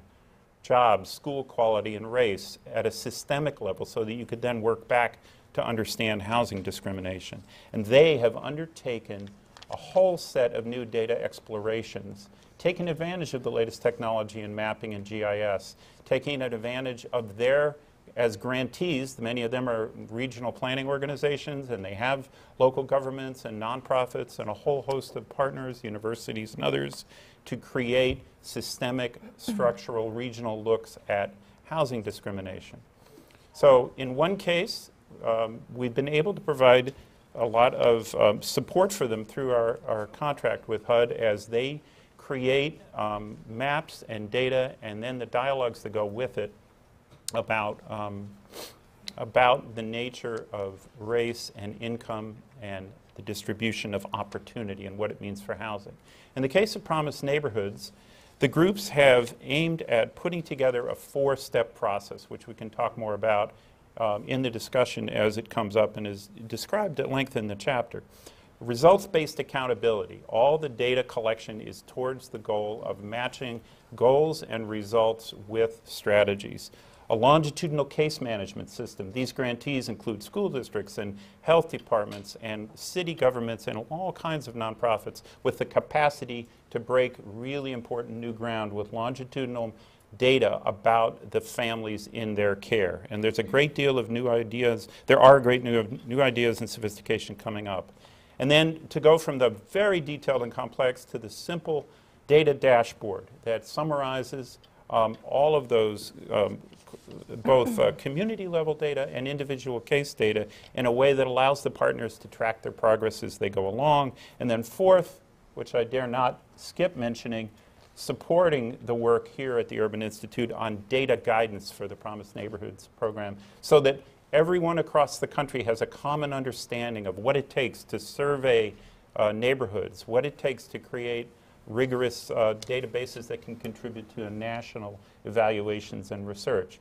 So in both cases, we've been able to do written briefs, one-on-one TA, peer-to-peer matches, trainings, webinars, more than I could count, and all the other ways in which we try to keep these communities of practice knit together. The 87 grantees over here from HUD and the 61 members of our community of practice. So um, I'll, I'll be happy to elaborate on any of those uh, details as we go along, but the paper gives you a little bit of a feel for what that's about. Great. Um, thanks to all of you for really taking us quickly through so much content. It's hard to know actually where to start. Um, I'm actually going to I'm going to jump to the end and come back this way. Um, so uh, both Victor and Alaina, you both in your chapters uh, and in your comments just now talk about the unique role that intermediary organizations have to play in um, building capacity on the ground. Um, and I'm wondering if, both of you can speak to this sort of in, interesting tension about, you know, what what kind of capacities need to be built within organizations versus just networking organizations on the ground to those people, those intermediaries that have the capacity to, so that you're you're building these networks rather than every organization has to know everything and has to do everything, Yep. which is just uh, not tenable for anyone. Right. So, wondering if you can speak to that. Can I jump in? So, just to continue in this, I, MacArthur plays a role as a very local funder in Chicago, and there are some real benefits from being able to sort of be deep in a city and understand how all of the pieces fit together. So, one of the things that I think is really important is to take sort of an ecosystem, an information ecosystem or market view to try to understand how can you support this marketplace and the way that people are exchanging information, using information together, and that really takes this ability to kind of pull back and see what are all the functions that you need to fulfill? Like, there's people that do research, there's people that are great software developers, there are people that are great data visualization people. But trying to map all of that out, and actually, Urban Institute's done a fantastic job for us in Chicago when our key data intermediary um, went out of business. We wanted to understand what some of those gaps were, and so they went in and actually mapped that out. That's available on the Urban Institute NNIP website to see that. But revealing that sort of system level view of all the different players and all the functions they play, that was something that we hadn't done before and hadn't really thought about. And so it's been a really great tool for us, not only to share with the funding community, but also to share with you know the city partners that we have, all of the different nonprofits. Like pay attention to where you kind of fit in this ecosystem. Um, the other thing I would say is that we have been actively supporting. This has come up before. The public sector the nonprofit sector and sort of the connectivity between them. And in Chicago, we actually found the need to start a sort of new new intermediary, which is called the Smart Chicago Collaborative, that plays some of this bridge building role between people that more traditionally understand community development, housing data, and some of the people that are kind of more in the hacker, builder, developer space. And so investing in that kind of capacity means we don't need to make those connections all the time, or people aren't seeking them out. They're trying to create sort of a more organized marketplace for the data and for the skills to use it. Yeah. The, um, one of the most important things to, to create in any of these kinds of uh, local uh, versions of federal place-based initiatives is for each partner to have an ambassador, have the party who's responsible to the consortium locally be an ambassador back to their hierarchy, be willing to understand the needs of the group and make commitments. It's, it's not just, I'm here because, well, it's certainly not here because the grant says, we, you know, the school district has to have a representative. It's, I'm here because school district, for example, wants to make sure we can give and get whatever data is needed to have a comprehensive view of these families and children. And I'm here to understand what commitments you can make, and I'm here to make commitments and go back to my superintendent and go back to my board. And if you start imagining that level of engagement replicated through every member of a consortium that includes both government and non-governmental organizations, and we're going to have to work through uh, HIPAA and FERPA, uh, all the restrictions, uh, well-intentioned uh, restrictions on health data and student data, and a, a hundred other both technical and political issues. That mutual trust among the members and the willingness to work through it is still probably the most important thing. Um, before I came to PolicyLink some years ago, I was one of those intermediaries for data and research working in Oakland from uh, UC Berkeley, and I and I would I, I always realized I, well, it didn't take long to realize that the technical expertise was the smaller part of the matter. That finding people who could do the mapping or create the databases or even explain them was less important or less difficult to arrange than that being the trusted convener or helping the trusted convener create the relationships um, that these consortium all need. They are all, by definition, multi-issue, multi-sector, in and out of government. They're going to outlast the elected officials. They're going to outlast the appointed officials. So establishing that, those relationships on an organizational level, but with the people, is where I would start. No, I mean, it's, um, eh, I kind of think about this book not so much uh, really about data in and of itself, but about these sort of relationship driven, uh, politics driven, culturally driven issues that um, dictate whether or not we can do this work effectively or not. Um, I'm, so I'm going to sort of combine a question from a webcast viewer and one that I, I wanted to ask um, of both Amias and David. Um, so Annie, in our earlier panel, spoke about um, creating tangible value and, and how you sort of use that to generate more demand um, to, to to get toward alignment of community development and, and public health or to get more open data and to make sure that um, all the organizations are participating in these kind of, you know, um, risky quote unquote endeavors. And I'm wondering if you can talk about some of the tangible values that you, you think can be created to kind of generate um, more, um, more activity in, in the work that you're promoting. Uh, sure, I'll start. The, um, let me just give two examples of kind of value. Uh, one kind of from outside of this space, and then one from inside the space, and, and try to connect them. So, um, in our chapter, we, we talk a little bit about GPS data. And GPS data, I think there's no question about the amount of value has been created in the US and global economy by the use and the creative use of programming and GPS data. Think about all your Garmin's or your iPhones with their maps, um, or you know anything that you know your Yelps. The the use of GPS data to create economic value is is immense, and GPS data is free. So your our community can use GPS data, and there's no question about the value that it can create sort of economically, and I think there should be no question. And Annie mentioned the Motor City mapping um, in Detroit. Uh, there's no question about the value that it can create in really understanding plot by plot, neighborhood by neighborhood challenges. Um, so that's one kind of value where I think you can you can really see that connection. Another thing uh, that we talk a little bit about in our chapter is uh, Open 211. So this is an effort to take the social service referral networks, combine them with data standards, so that instead of the traditional, you know, dial 211 call center city by city, it's different. Um, and the what's the level of commitment to actually maintain this data? You can actually embed data standards, put it online, and make it both more effective over time and also easier to maintain over time. In, in Open 211, you know, we've had a lot of conversations with uh, individuals pushing that, and you can see there um, both the value of it, but also the real cultural hurdles to push it through, right? Are there, um, I think one of the themes that comes out in some of our chapters um, is this notion of proprietary processes.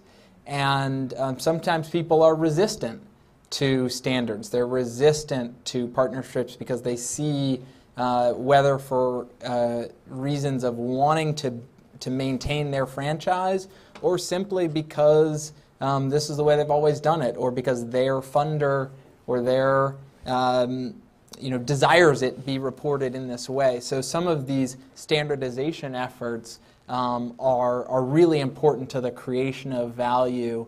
But I think if you, if you look at some of these examples, I mean, think about, uh, you know, we all know the value of social service referral, right? That is hundreds and thousands of people calling this number every year trying to figure out how do I get my personal immediate needs fulfilled. And so I think the connecting data and data standards to that kind of real tangible value is um, it's not a hard jump to make, um, but it's uh, I think once you make it, it's sort of it's almost so obvious um, that that it's we maybe forget to to communicate about it.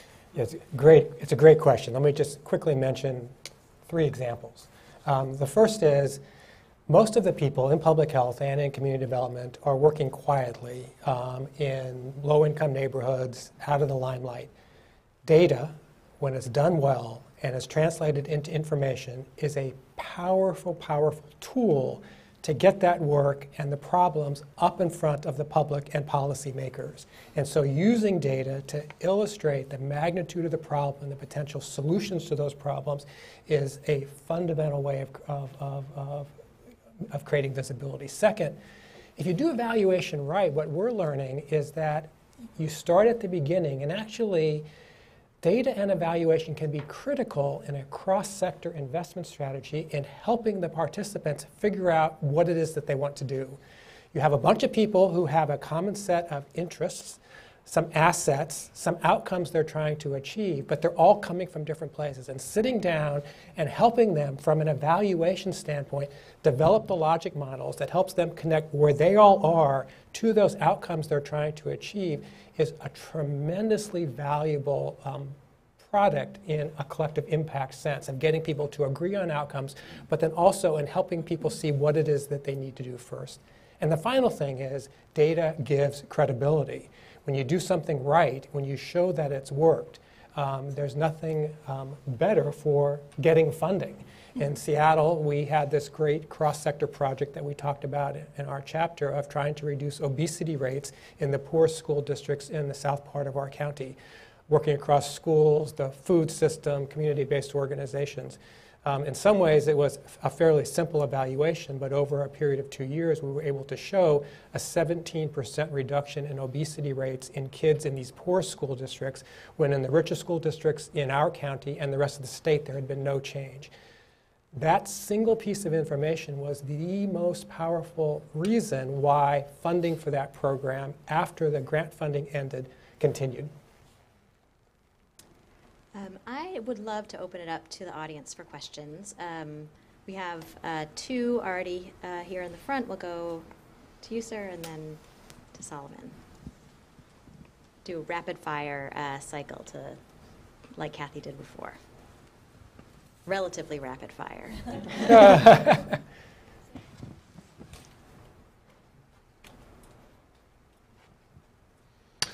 Hi, Jonathan Horwitz from the uh, Low Income Investment Fund. Um, and I want to uh, jump off uh, something David just said uh, for a question, which is uh, data really gives you an opportunity to tell the positive story. And, and I'm proud that that uh, chapter on the social impact calculator is is is really one of those positive stories, and it's about sort of we talk a lot about how the systems are failing because they're so siloed, but but the the calculator is really about the successes we're already having.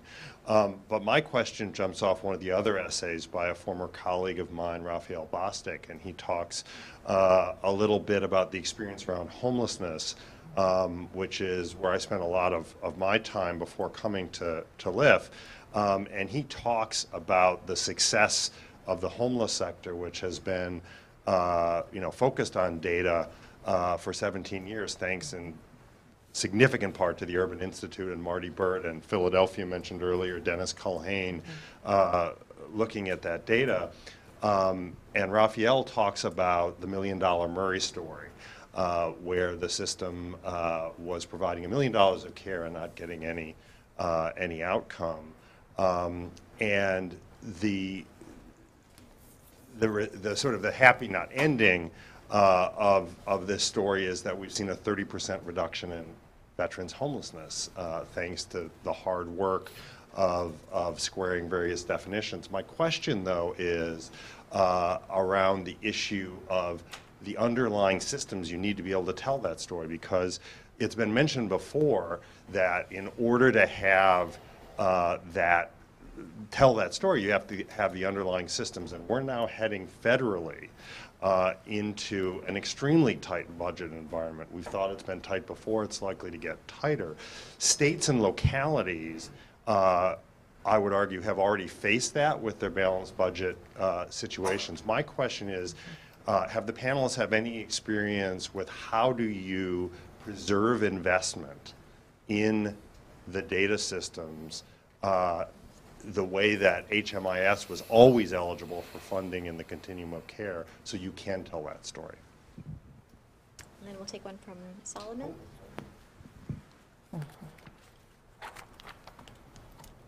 So I actually have a fairly general and open-ended question, but it is um, uh, relates to the fact that all of the presentations so far and the discussion so far has assumed that data can be a powerful tool to enhance community participation and drive evidence-based interven- interventions, which we haven't really emphasized, but essentially addressing uh, to reduce inequalities and create opportunities.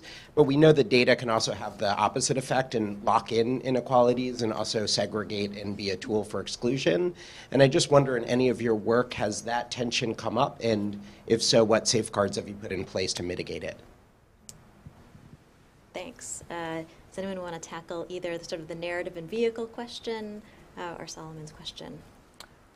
Can I just quickly jump in Yeah. on, on Solomon's Yeah. question? Because I think it is a great one, and it, it is true. There's so many ways that this has played out, whether it's, you know, speculation about Uber redlining or all of these other ways where we can think about um, the inequalities that data can potentially deepen.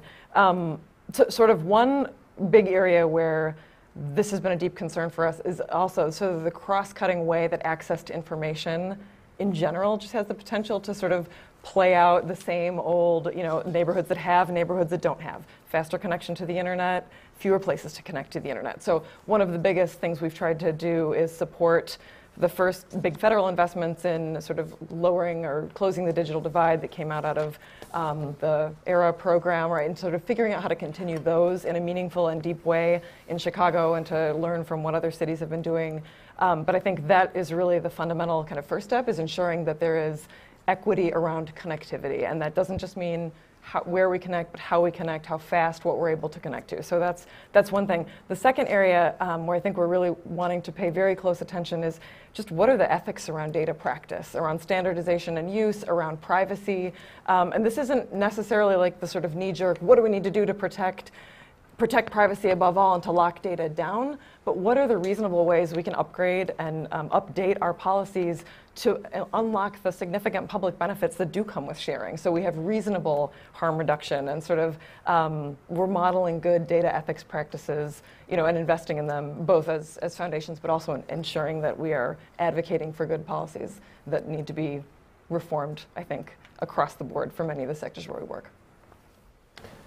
I wanted to speak to the um, investment in the data infrastructure issue, and it's a really great question. I think um, cynically, I would say that people who are responsible for those data infrastructure systems are the worst advocates for um, advocating for continued funding because they are perceived as doing nothing other than feathering their own nest and oftentimes speak in a language that is incomprehensible to anybody who's not a data geek.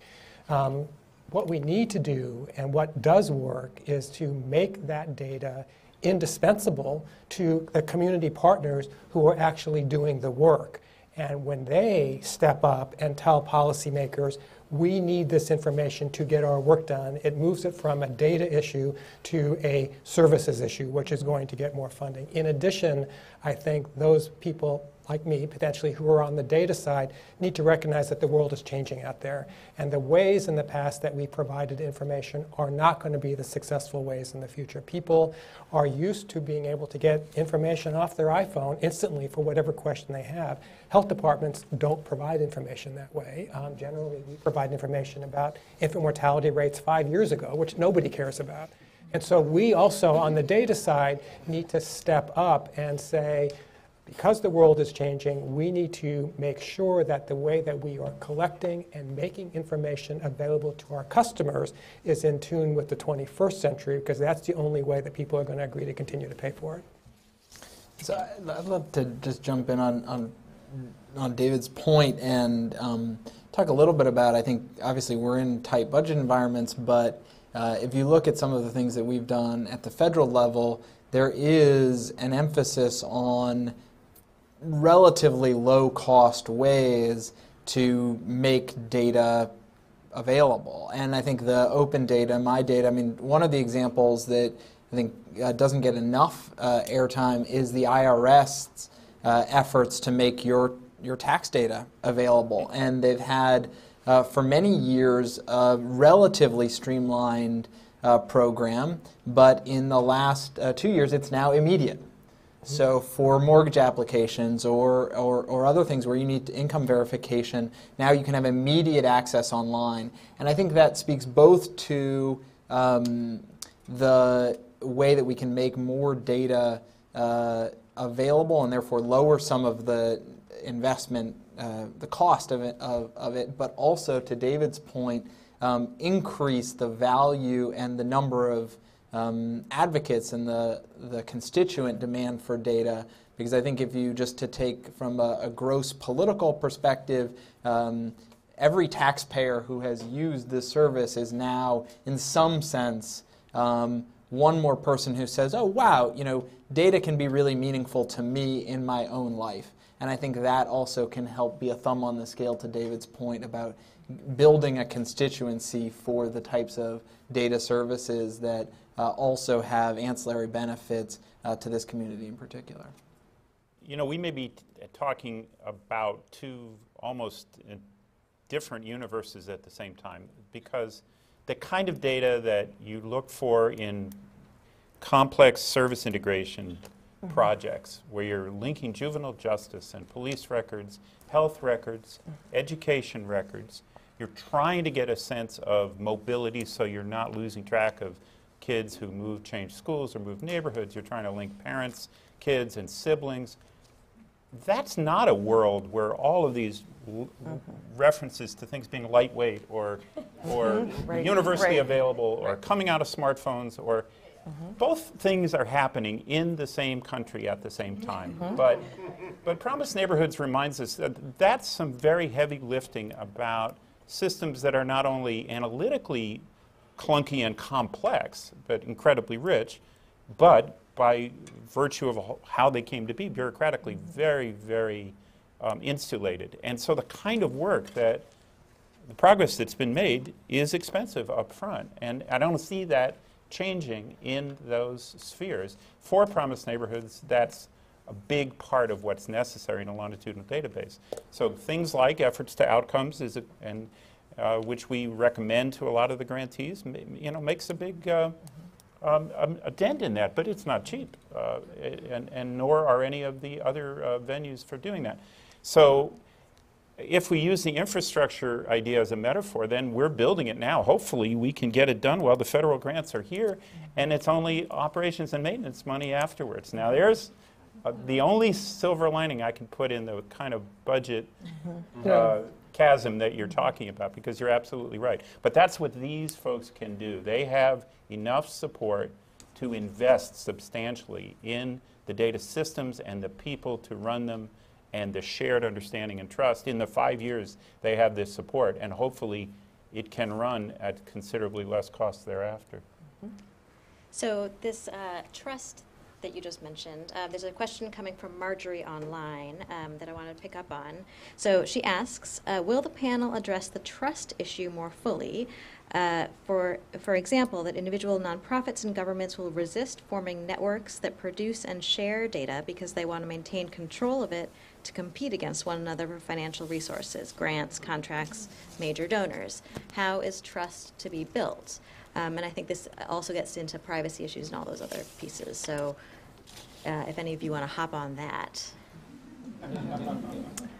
Well, I want to pick up on it's, it's, to the same point about there are multiple different kinds of data projects going on at the same time. City open data movements not all data is open data, and not at every level of, of granularity is that data completely open to the public, and people understand why that is. And it's just like why uh, integrated administrative data system efforts take you know extraordinary resources both in terms of like ensuring those privacy protections while you're linking the data anyway so I guess it's, it's sort of to that same point that there's multiple things going on. You can be pushing a general culture of transparency and openness because more open data is creating raw material that everybody can build businesses on, whether it's a nonprofit business that's competing in a marketplace for nonprofits, you know, or a small business that's trying to create something of commercial value. So I think um, no matter what, more open data of the kind that is safely open data is good for everybody, and I think we can all be advocating for that.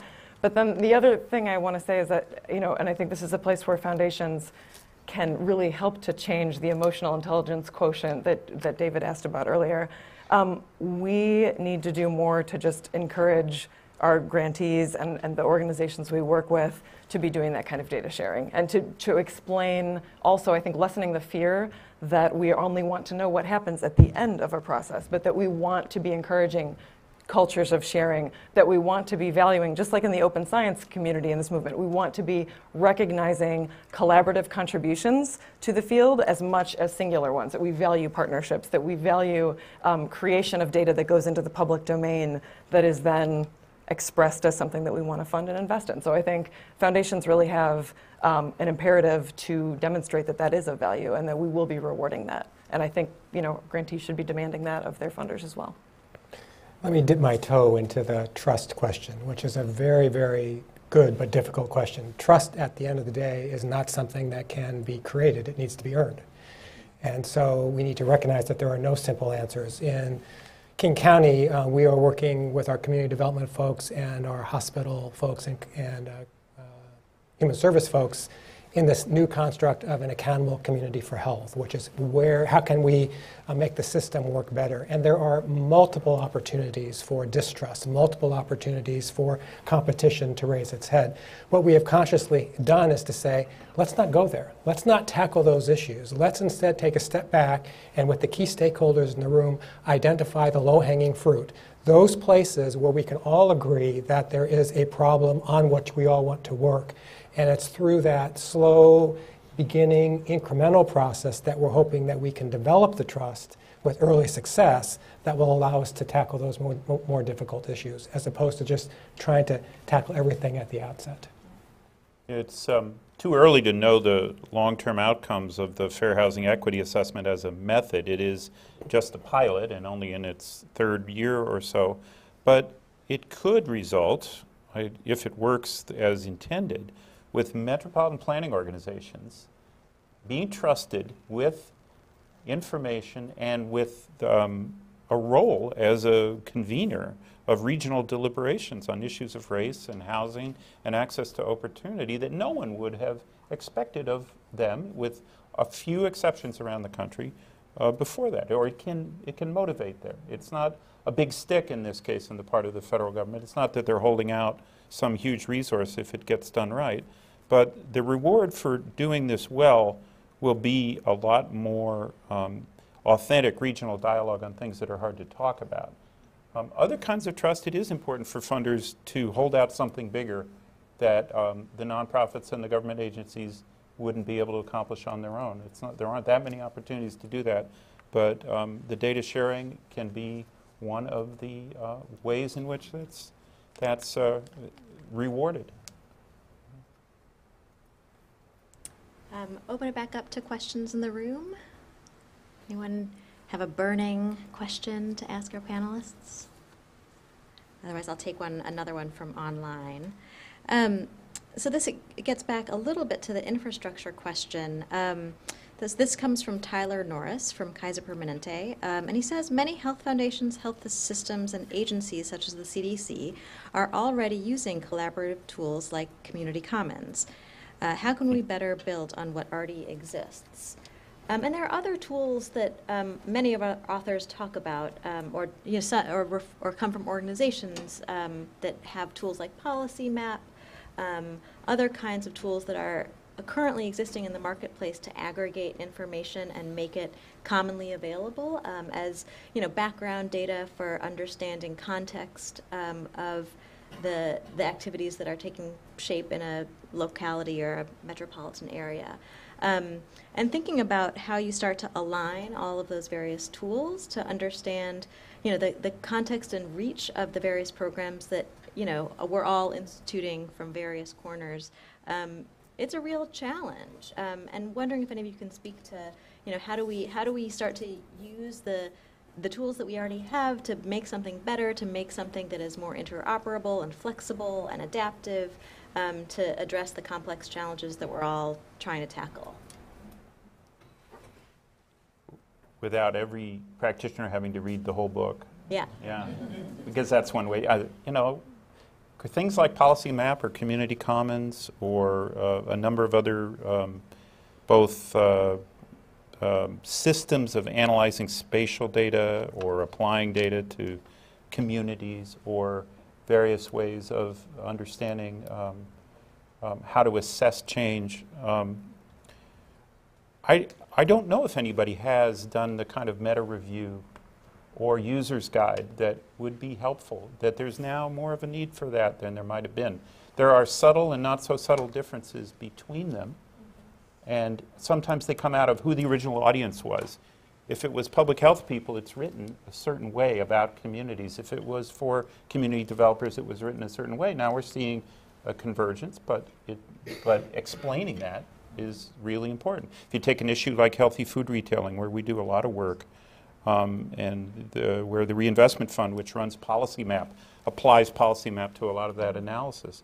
Um, they know how to exactly make that connection between community development and health issues. I think the next generation of TA and capacity building is how to use the tools that are out there. I bet most of them are, as Tyler says, um, you know, there are plenty of them out there, but they're not all the same. They're, they're one, one quick concrete example of this, I think, and one of the many great examples that came out of um, actually another contributor to the book, Susana Vasquez and, and Patrick Barry from LISC in Chicago, which is a community development intermediary there.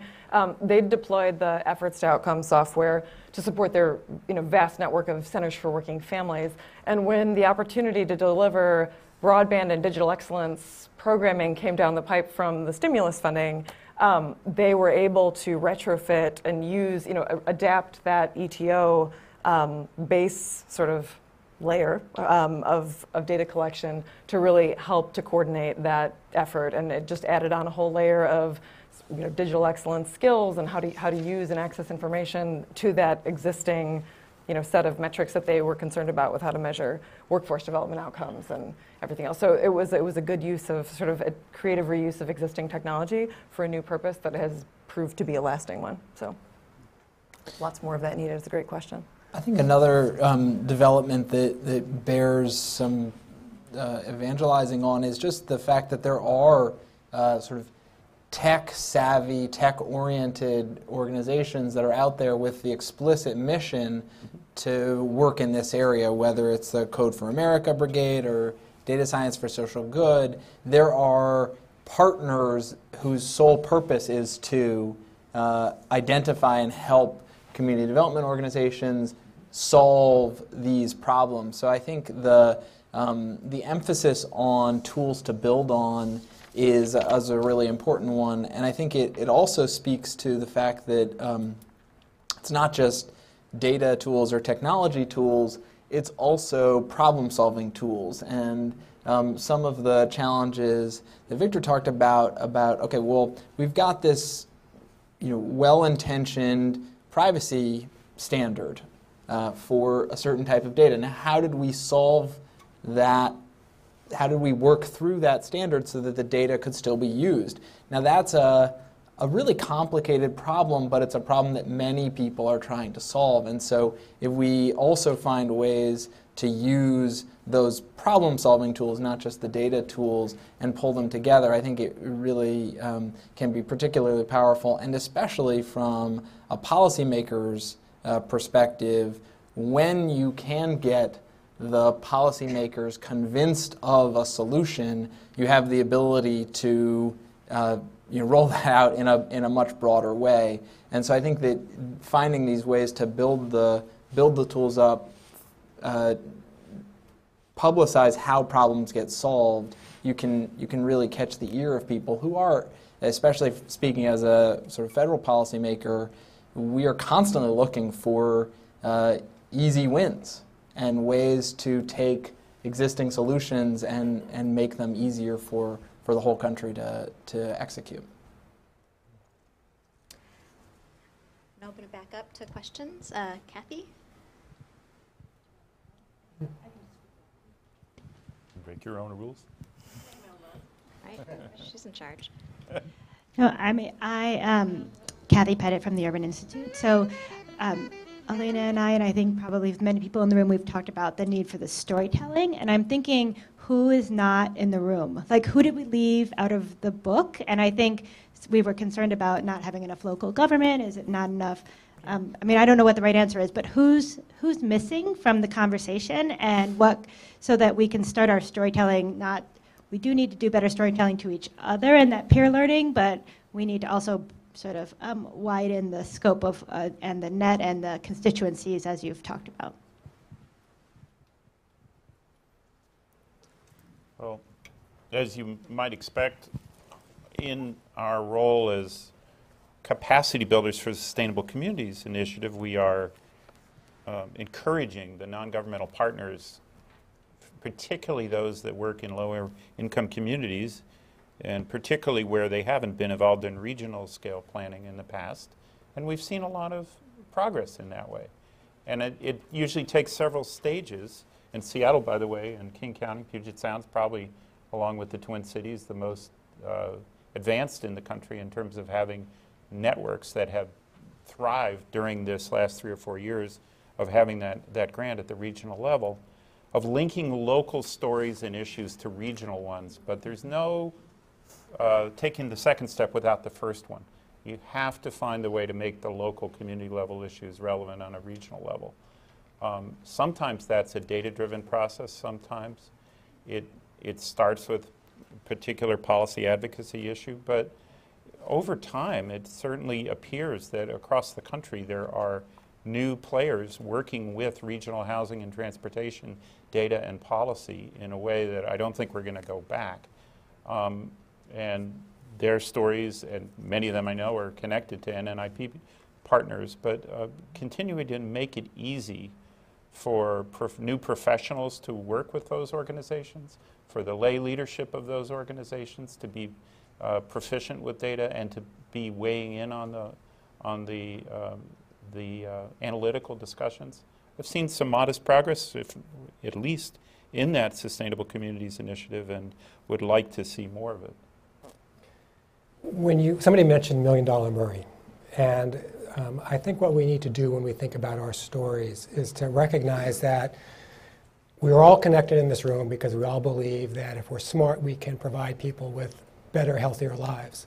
the reality is the system doesn't do that today, and so we have a lot of people out there who have lousy lives. They are unhealthy. They're uh, in the criminal justice system. They're using intensive human services. Um, there are policymakers out there at the local, state, and federal level, I'm thinking particularly local, who have to make the decisions every day of, with the limited budget I have, how much of it do I put towards those end stage, very ineffective strategies to treat people once it's too late, versus some of these smarter investments that we're talking about there now. Those are the people we need to get into the room. Those are the people who we need to find the enlightened individuals who are willing to tell the stories of how they've switched their investment strategies and how it's made a difference in their jurisdiction, because that's the way to create change in other areas. Yeah, absolutely agree. And I've seen a lot of the local health uh, services agencies. The, Alex Briscoe, who heads the Alameda County Health Services Agency, is, is a wonderful storyteller about some of the, the novel strategies, and there's a video that he brings along to his presentations, and it's a reminder of storytelling in that other sense uh, to complement the hard data that we talk about. But the, the, the point was the same, you know, prevention up front, jobs for folks who are otherwise shut out of the labor market, uh, uh, early stage upstream strategies, uh, they all lend themselves to that kind of a narrative. Mm -hmm. And, and the local practitioners are probably the most important ones to make that, that claim, I would agree. Let me make a small plug for um, the, the White House and the President's budget includes something called the Pay for Success Initiative. So, um, a fund that would allow the federal government to help support the kinds of uh, early stage investments on the basis of payoffs in better outcomes. Um, this is something that hasn't gotten legislated yet, but there are examples in local communities where people have worked with networks of funders um, and other intermediaries to try and structure um, program investment on in the upstream um, that is funded through savings in, in the downstream. And I think that's a, a great example of where David's points about getting evaluation in early um, getting a data driven um, understanding of what's possible really can can change the environment in a, in a powerful way. And let me give one example of this. Um, so in Detroit, the uh, we've uh, partnered with the um, Michigan Housing Finance Authority and with the City of Detroit on a blight elimination effort. And one of the key factors there was using federal money in foreclosure prevention to actually get rid of blight. And the way we were able to do that was through the hard work of economists and the local partners to say the elimination of blight actually will prevent foreclosure. Now that's, that's a difficult calculation, but we were able to do it. We were able to prove that, that it worked to the satisfaction of the lawyers, and we were actually able to spend the money. Because of the success in Detroit, not only are other states able to use federal dollars that were earmarked for foreclosure prevention to do this, but now, for the first time, we're seeing cities able to issue bonds, so to the market, that say, hey, our tax base will grow up, and therefore we can issue bonds to the market if we can uh, get rid of blight in our neighborhoods. And so that kind of connection between data and investment is uh, something that I think we have the opportunity to work on, and the, the, blight elimination has been a tremendous success in that way. But I think we can all look at that pattern and think about ways to, to look for, for opportunities to use that same uh, model in, in other, in other uh, social service problems.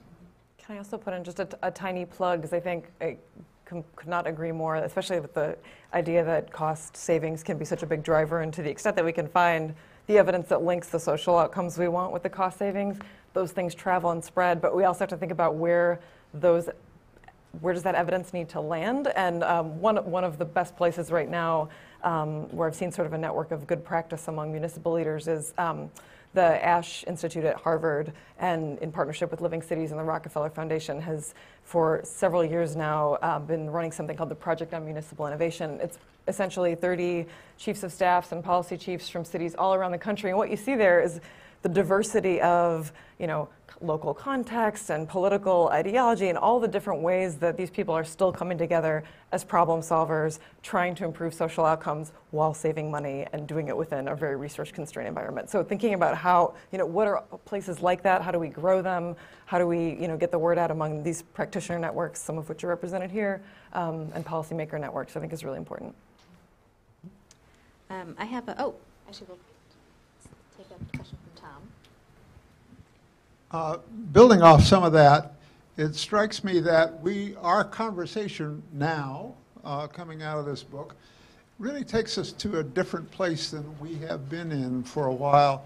Uh, three or four years ago, we're talking about how can we get more out of data, more, more applications from the use of data. We talk about, well, more money to those places that know how to use data. I think we move beyond that, and that maybe the breakthrough we're looking at, based on some things, especially Alaina says in her uh, chapter, and Victor talks about, the people who have to, we have to get people who now do not know how to use data, who are not culturally ready to use data to use it in their daily work. That's going to take, I think, some uh, new channels, new ways to think about how foundations and others uh, deliver funding to organizations. It's not, it's going to take uh, people who know how to coach practitioners and build tools. There are a lot of good, good generic tools are coming out now but they don't quite fit the decisions that people in some of Chicago's uh, community development groups or people in social science delivery always uh, are ready to really take on.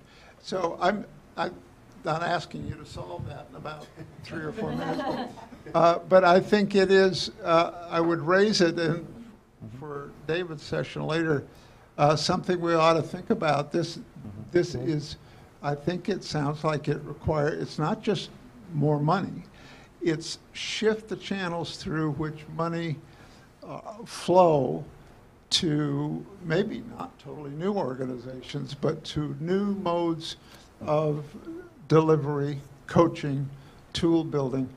Uh, and maybe that's where the big next breakthrough is going to come. Yeah, no, I, I would agree. I think our, our communities of practice over the last few years have had at least those aspirations. I, and, and again, probably too soon to say how well they're picking up. And, and the voluntary nature of a lot of the participants is encouraging as well. They see enough in it to, uh, to uh, put in the time and to bring uh, um, unusual partners or to learn how to work with unusual partners and to take some risks. Um, all those things that we, we talked about earlier is essential to building trust. Um, so we're seeing more of that, um, but um, it's not going to happen without the continued push and motivation of all the, yeah. Yeah, I would, I would certainly agree with that, and we've seen a lot in, in Chicago locally, but also just nationally, what it sort of takes to build those unusual partnerships over time. And I really, I think it comes back to this idea of creating the culture of sort of wallowing together in a safe place, which I love because I love hippopotamus. So it's like, it makes me think of a hippopotamus. wallowing in the, wallowing in the mud. But I mean, really, I, I've learned so much from watching um, LISC, a big, you know, a huge community development corporation in Chicago, go through this process themselves and really figure out what it means to do things like every third Friday they have a data Friday and somebody new comes in and just pitches. It could be a tool it could be a problem but it's like just about creating this culture of learning and experimentation alongside all of the rigorous research and evaluation um, that is certainly needed. But it's it's creating an openness and a sort of permeability where all these new players because it's a field that's changing so fast you need to be open to the new people and the new skills that are kind of coming on the scene or just around the corner that you've never even heard of before. And so it's creating that permeability, that culture. Yeah. I think that's a great Mm-hmm. place to end this uh, panel. Um, please join me in uh, thanking our panelists. One thing I wanted to mention, we talked about trust and sharing as a, as a theme today, and one of the things that I think is really uh, exciting about the book itself as an example of how some of that's working. Uh, you know, the, the first book we did, the Investing in What Works, um, that was a, a joint effort with our friends at the Low Income Investment Fund uh, and their uh, close thought partner and funder, the Citi Foundation. And when we did the second book on data, we weren't clear at that time that there was going to be, they were, was, there were going to be successive volumes and that we would co-brand them. And, uh, and in fact, it became more and more clear to us as we were working in it that these were very related books in a powerful way. And so we went to them and said, "Do you mind?" You know, we had uh, Alex Field, our, uh, from uh, Burness Communication, come up with this title saying, "Look, you, you've, you've distributed 40,000 of that other book, right? You've got a huge audience. Let's call this one What Counts, right?" Eric talked about the What series, and I thought, well, we don't really own that name, you know. So, uh, so fortunately, the LIIF folks and the Citi Foundation was very generous in allow, allowing us to continue this co-branding, which we think is really important because we're really trying to create a much bigger dialogue uh, with a much bigger community outside. We've traditionally been focusing on community development. We've partnering a lot more lately with health, public health, population health, but we need this to be a much bigger conversation. And so um, that's really one of the efforts of the book. Now, we're going to, this session is really dedicated. We've got 25 minutes, um, and we're going to talk about the future, as Naomi said. We're going to talk about what's next. So I'm going to be, I'm asking you to, if you've got an idea uh, about what the next, uh, next step is, I want you to raise your hand, get the attention of some of the runners here with the microphones, and we're going to do these bursts again in three, and I'll ask for those in one second. Um, but one of the things I want to just mention too is um, just talk to you a little bit about the fact that what's gone on, on online so far uh, in this conversation. So we've had over 500 people, uh, in addition to people in this room, 500 people have been watching uh, this this uh, this uh, webcast today. 700 tweets tweets from uh, over 100 people. My favorite so far is somebody who just took a picture of her cat sitting next to watching uh, uh, uh, Victor speak and said, even cats love data, you know, so data can be fun. You don't have to, you know, and, uh, And we certainly, and data wallowers and all the rest, we're getting some good sort of terminology coming out of this conversation. So I think it's been very successful so far. Um, but one of the things we were thinking about, so, so th- this book is really a river from many streams, and one of the streams was this chapter that Naomi Cytron and Ian Galloway, our other colleague at the Federal Reserve, and I wrote on. We called it "Routinizing the Extraordinary." And what we found was we were looking at these examples where um, many there are many examples in our country whether it's the harlem children's zone or purpose-built communities or neighborhood centers Inc. In houston where you had 90% bad outcomes before the intervention and afterwards you had 90% good outcomes. I was just in a panel with carol not, not, not too long ago. She says look we're not closing the achievement gap. We've eliminated it. That her school in her area uh, in, in East Lake uh, in Atlanta is now outperforming the best schools in the Atlanta school system. So we know if you organize the right resources and sequence, and sequence them and really provide all of those opportunities to people, we can have tremendous outcomes. We can have really spectacularly better outcomes. And we know in all of those examples that they have these common elements. They, they are cross-sectoral, they're, they're fiercely based, um, um, place-based, so there's a lot of real interest in, in the community that way. They, um, they, are, um, they use data regularly. They have an intermediary organization. We call it the community quarterback. The, the health people call it the integrator. The FSG folks talk about the backbone. They have some entity that takes control over some of these things, that does the coordination. They use data very effectively. They get buy-in from the community. Um, and then the one thing we have as the running joke around this is that they typically have at, the, at root uh, a charismatic super genius with a close friend who's a billionaire. Yeah. And that's how that gets, you know, so that's how it works. So we have, that's why we have 10 examples of those, and we need 10,000, right? And we really believe that data, if we're going to create an ecosystem that makes it easier for everyday average people to just do their job and get a great outcome, we need to change the whole ecosystem for how things get done. That one of those changes is how we approach data and creating this data ecosystem infrastructure. You've heard that many times today. So in those 10, 20, 30 places we've profiled around the country, they have ended multi-generational poverty. And I'm going to make a prediction here. I want someone to write this down. By December 2034, we will end multi-generational poverty in this country. We don't need any new ideas. We don't need any new money for that. We just need to be smarter on how we deploy our resources and have better business models to execute. And so we now have 18 minutes left. And we need the answers from you. What do we do next? What's the next step? How do we start building that data infrastructure tomorrow? We, do we start small, as, as Annie and Maggie were saying before? Do we is there, is there a systems change that our friends from Treasury had mentioned earlier? Are there, you know, how do we do that? So John's raising his hand. So those of you who are um, mic runners, as soon as you see a hand, just go ahead and give that to people. And um, there's one, another hand up here. And so what I'm going to ask is I'm going to take these in bursts of three, and then we'll just kind of talk about this. A theme emerges, we'll talk about that. So John, do you want to go next? So, so John Moon with the Federal Reserve of San Francisco. Um, so the observation of the what works was that we ended up doing a lot of these um, meetings across the country, and I don't know exactly how many we did, but every one of those we sort of evolved ideas. And so in terms of this broader theme of developing data infrastructure, we need to drill down on that question, and I think there's a great opportunity to really go into the many communities with a lot of these forms through the What Counts um, book and figure out and hear from communities about how do we start building this capacity and building this infrastructure because in the end we we saw Citi Foundation step up to fund Partners in Progress, which was the funding of community quarterbacks. And I think the funding community would love to know better about how to be more um, uh, effective in supporting this data infrastructure. Great, thanks, John. Jonathan? Um, I want to say, first of all, thank you so much for putting a timeline out there. I was proud in the administration to be part of putting a timeline out there for ending chronic homelessness. Um, I'm a policy guy. I know a lot of people here will probably not be involved in this, but uh, Amias mentioned the Pay for Success Fund. There's another uh, piece of legislation that was quietly introduced by Senator Patty Murray and Paul Ryan on an evidence-based uh, commission uh, I think it's really important to engage on that uh, because that could create a, a, federal forum for supportive data. Yeah, that's great. Kathy, you want to go next? You can just hand that one over to her.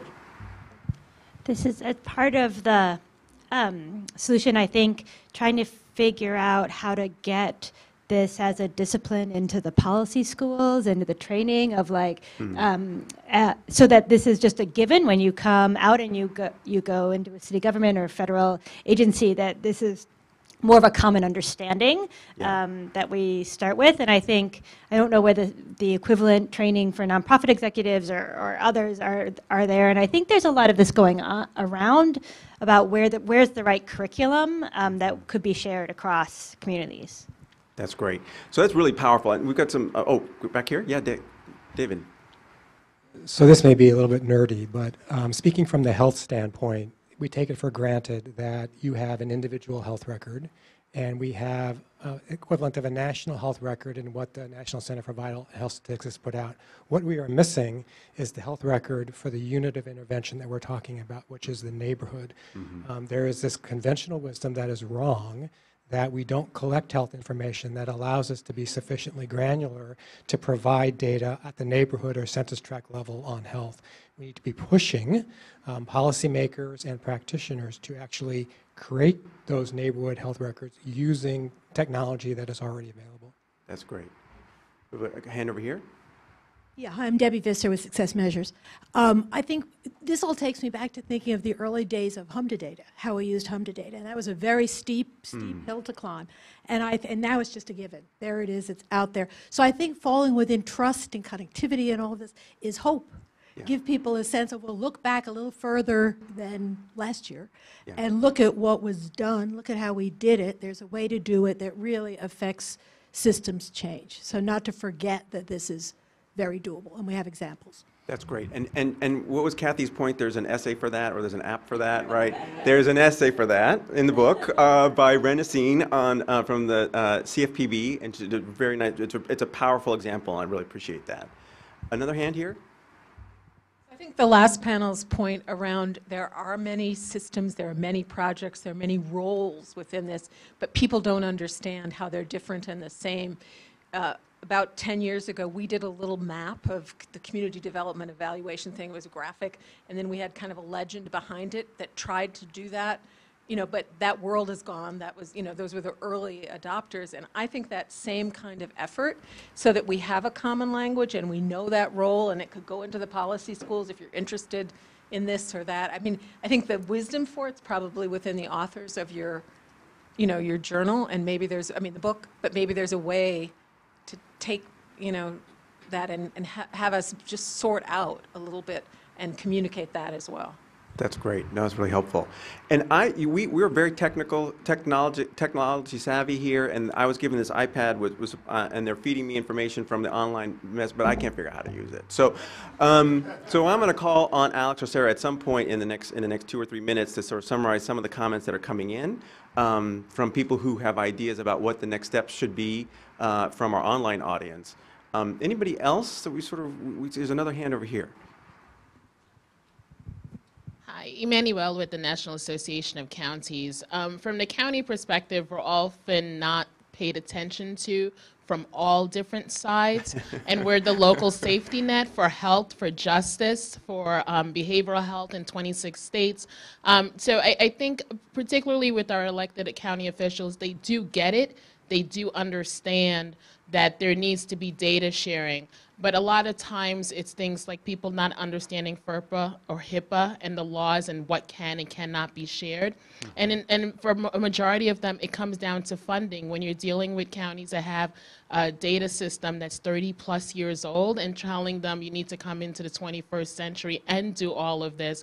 And it's overwhelming. And when you're in, you're in the current economic downturn, um, it, and they're struggling, it's a very hard argument for them to be able to um, rectify and reconcile that with what needs to be done. So I, I think looking at the local safety net and seeing where can we start from there, and um, since they do provide all of the services um, for a good number of people around the country. Yeah, that's a very good point. And and it's it's you know when you're trying to deal with someone coming through your emergency department door, it's very hard to sort of say, well, we could have spent that money on the upstream social determinants of health, right? I mean, it's sort of because that person's standing in front of you bleeding, and so you know the counties have that experience for sure. Um, but I think with some other partners, we might be able to sort of start moving our our, our thinking upstream that way. Um, we are about to go to the online folks, but I, one thing, point I wanted to make, and it picks up on a few, few ideas, is, like, is supply and demand for data. So, so David talked a bit- bit about um, you could create more demand if you create uh, value for the end user. I think that's really a powerful concept. Um, we know too that, um, that because of the Affordable Care Act, hospitals are now uh, doing an annual assessment of their community health needs. Uh, most of which, as we, we were talking before, are not medical care needs. They're these upstream social determinants issues. And so, as they start doing those uh, uh, types of um, data sweeps and reports, I'm wondering if we can't think about ways we can start merging that together with the departments of public health, the work the, the, the, the, they do at the county level uh, in terms of data analysis, and even some work we do as a bank regulator with our sister regulators around what we call performance context. Uh, what were the opportunities for the banks uh, to invest in their local communities to improve social determinants issues? Um, and so there are a lot of reports. In other words, there's hundreds of reports going on. What we need is just one really, they're, not, they're all insufficient. We just need one really good one that we can all use. Um, okay, Alex Field uh, or Sarah Knoll, can you help us? Sure. Uh, so definitely keep the comments coming, but um, two to share with you now, David. One, sort of on the need for multilingual data leaders um, who really know how to work across sectors, health, housing, and education. Um, that's really important. And then also echoes that um, we need to get data in as a discipline uh, into policy schools, and part of that training, that that's really important. Yeah, I think that sort of that training issue is powerful, and and the and the data. This is where you know translating. You know, David mentioned, but CDC is someplace in Atlanta for some folks. It's a community development corporation for others. But when you focus on these data issues, it becomes or data becomes the lingua franca that we can all sort of communicate across sectors. So it happens that the leading health indicator for a child, most children are very healthy actually, is whether or not they're reading at grade level of the third grade, right? So in a way, the data point, the data just naturally send us into a more comprehensive cross-sector sort of approach to the problem. So, um, so this is another way I think where it's going to make a big, big difference. We had a hand up here um, and, and, and, and over here. So, uh, Yeah, I, and can you tell us I, have been I've been struggling with myself. My name is Ruth Lubic, and I'm a, a nurse midwife uh, who is dedicated to serving low-income people and reducing uh, the negative outcomes of African Americans, and came here to Washington after receiving a MacArthur uh, fellowship, uh, the so-called Genius Award, knowing that a midwifery model could do a lot for poor people, and we did a lot. But I, I'm I'm asking you because we saved um, $1,600,000 in 2006 by reducing preterm birth two-thirds and low birth weight three-quarters and cesarean section two-thirds. But who got the money? Yeah. We did not get the money. It all went to Medicaid managed mm-hmm. care. Mm-hmm. So the data are, are the data are very good, but but we're suffering from them. And and I just you know I've been waiting for somebody to to bring this up because I I hate to do it myself, but because I'm an old girl, you know, and you know she's only a nurse. What can she know? so this is an excellent, and there's and there is an essay on that. So uh, there's an essay on that.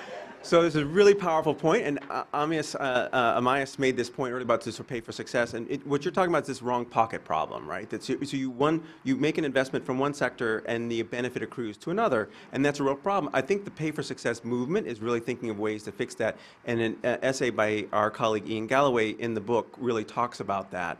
You know, also, uh, the Urban Institute did studies on us, and they did a cost study on us, which came out in MMRR just recently, and uh, in September. Oh. And if, if uh, the, the, our model could be used all around the country for Medicaid-supported births, it could save $2 billion a year. No, But great. again, who's going to get it? Yeah, yeah. Well, there's ways to fix it. It's a technical problem. We'll fix it, I think. Yeah, Tom. Uh, I've been uh, emphasizing of late, let's get the data, build the data cap- capacity of uh, practitioners.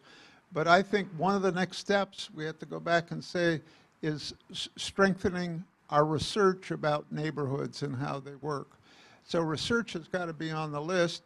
And the fact of the matter is we don't have very good predictive knowledge about if you undertake this intervention here or this intervention there, how neighborhoods are going to react or what the outcomes are going to be. So the research side has to go hand in hand, I think, with the practitioner side. That's really powerful. And, and another essay I would point you to is Claudia Coulton's piece on focusing on neighborhoods and the churn that you find in these Right. low-income neighborhoods and how, how, how difficult that is if you do an intervention, but then two years later, 40% of the population no longer lives there. How do you know you made a difference? So that's definitely an, a big, big issue. We've been trying to figure, we were trying to get more complexity science into the book. It was very hard to figure that out, you know, but this idea that these sort of, these are, neighborhoods are complex systems and therefore require a totally different level of thinking. Um, and there's a lot of really interesting science around that, uh, but we have not yet seen a really good example. We, we were able to incorporate in the book to show how it could be used more effectively to, to understand the dynamics in the neighborhood, as you say, Tom.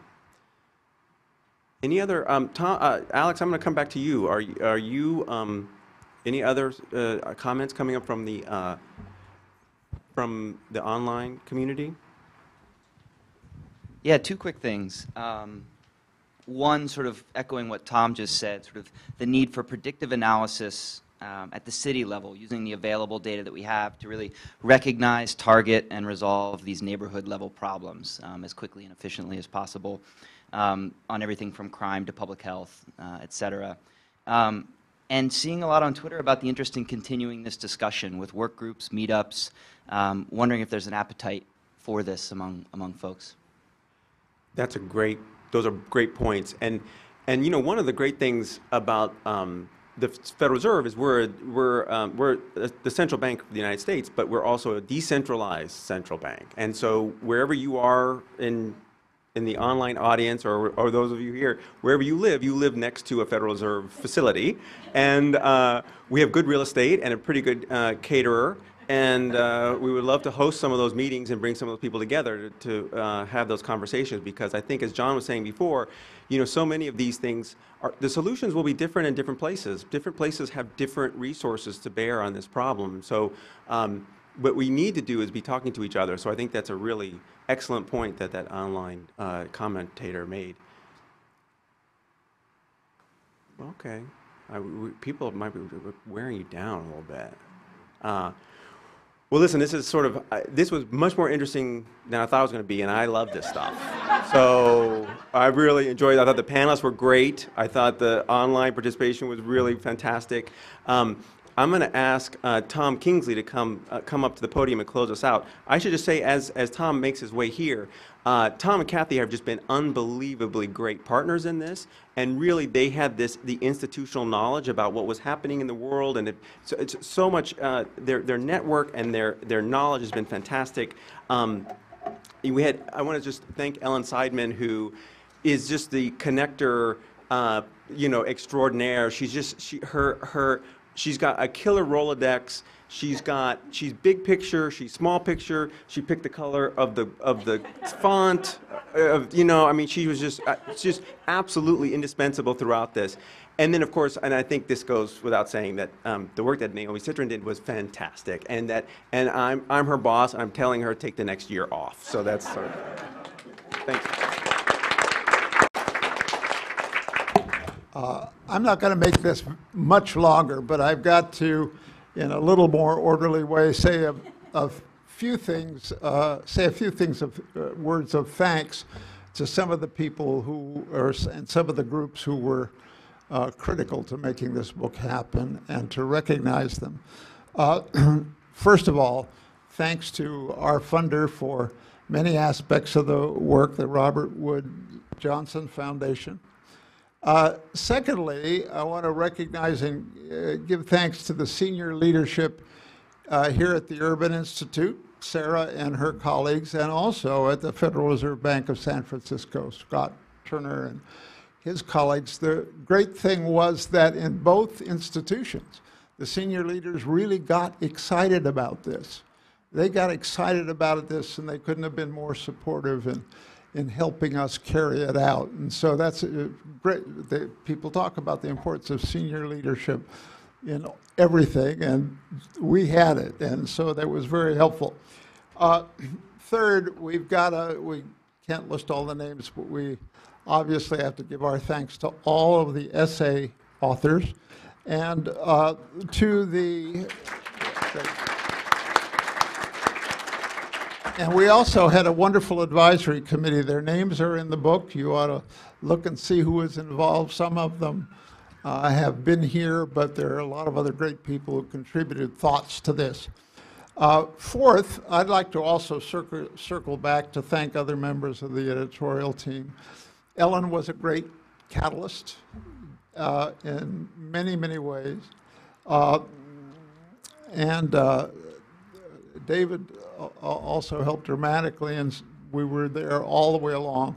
Uh, But the other two players, I think their contributions were, uh, uh, by volume, certainly most important. Kathy Pettit made a huge contribution to this.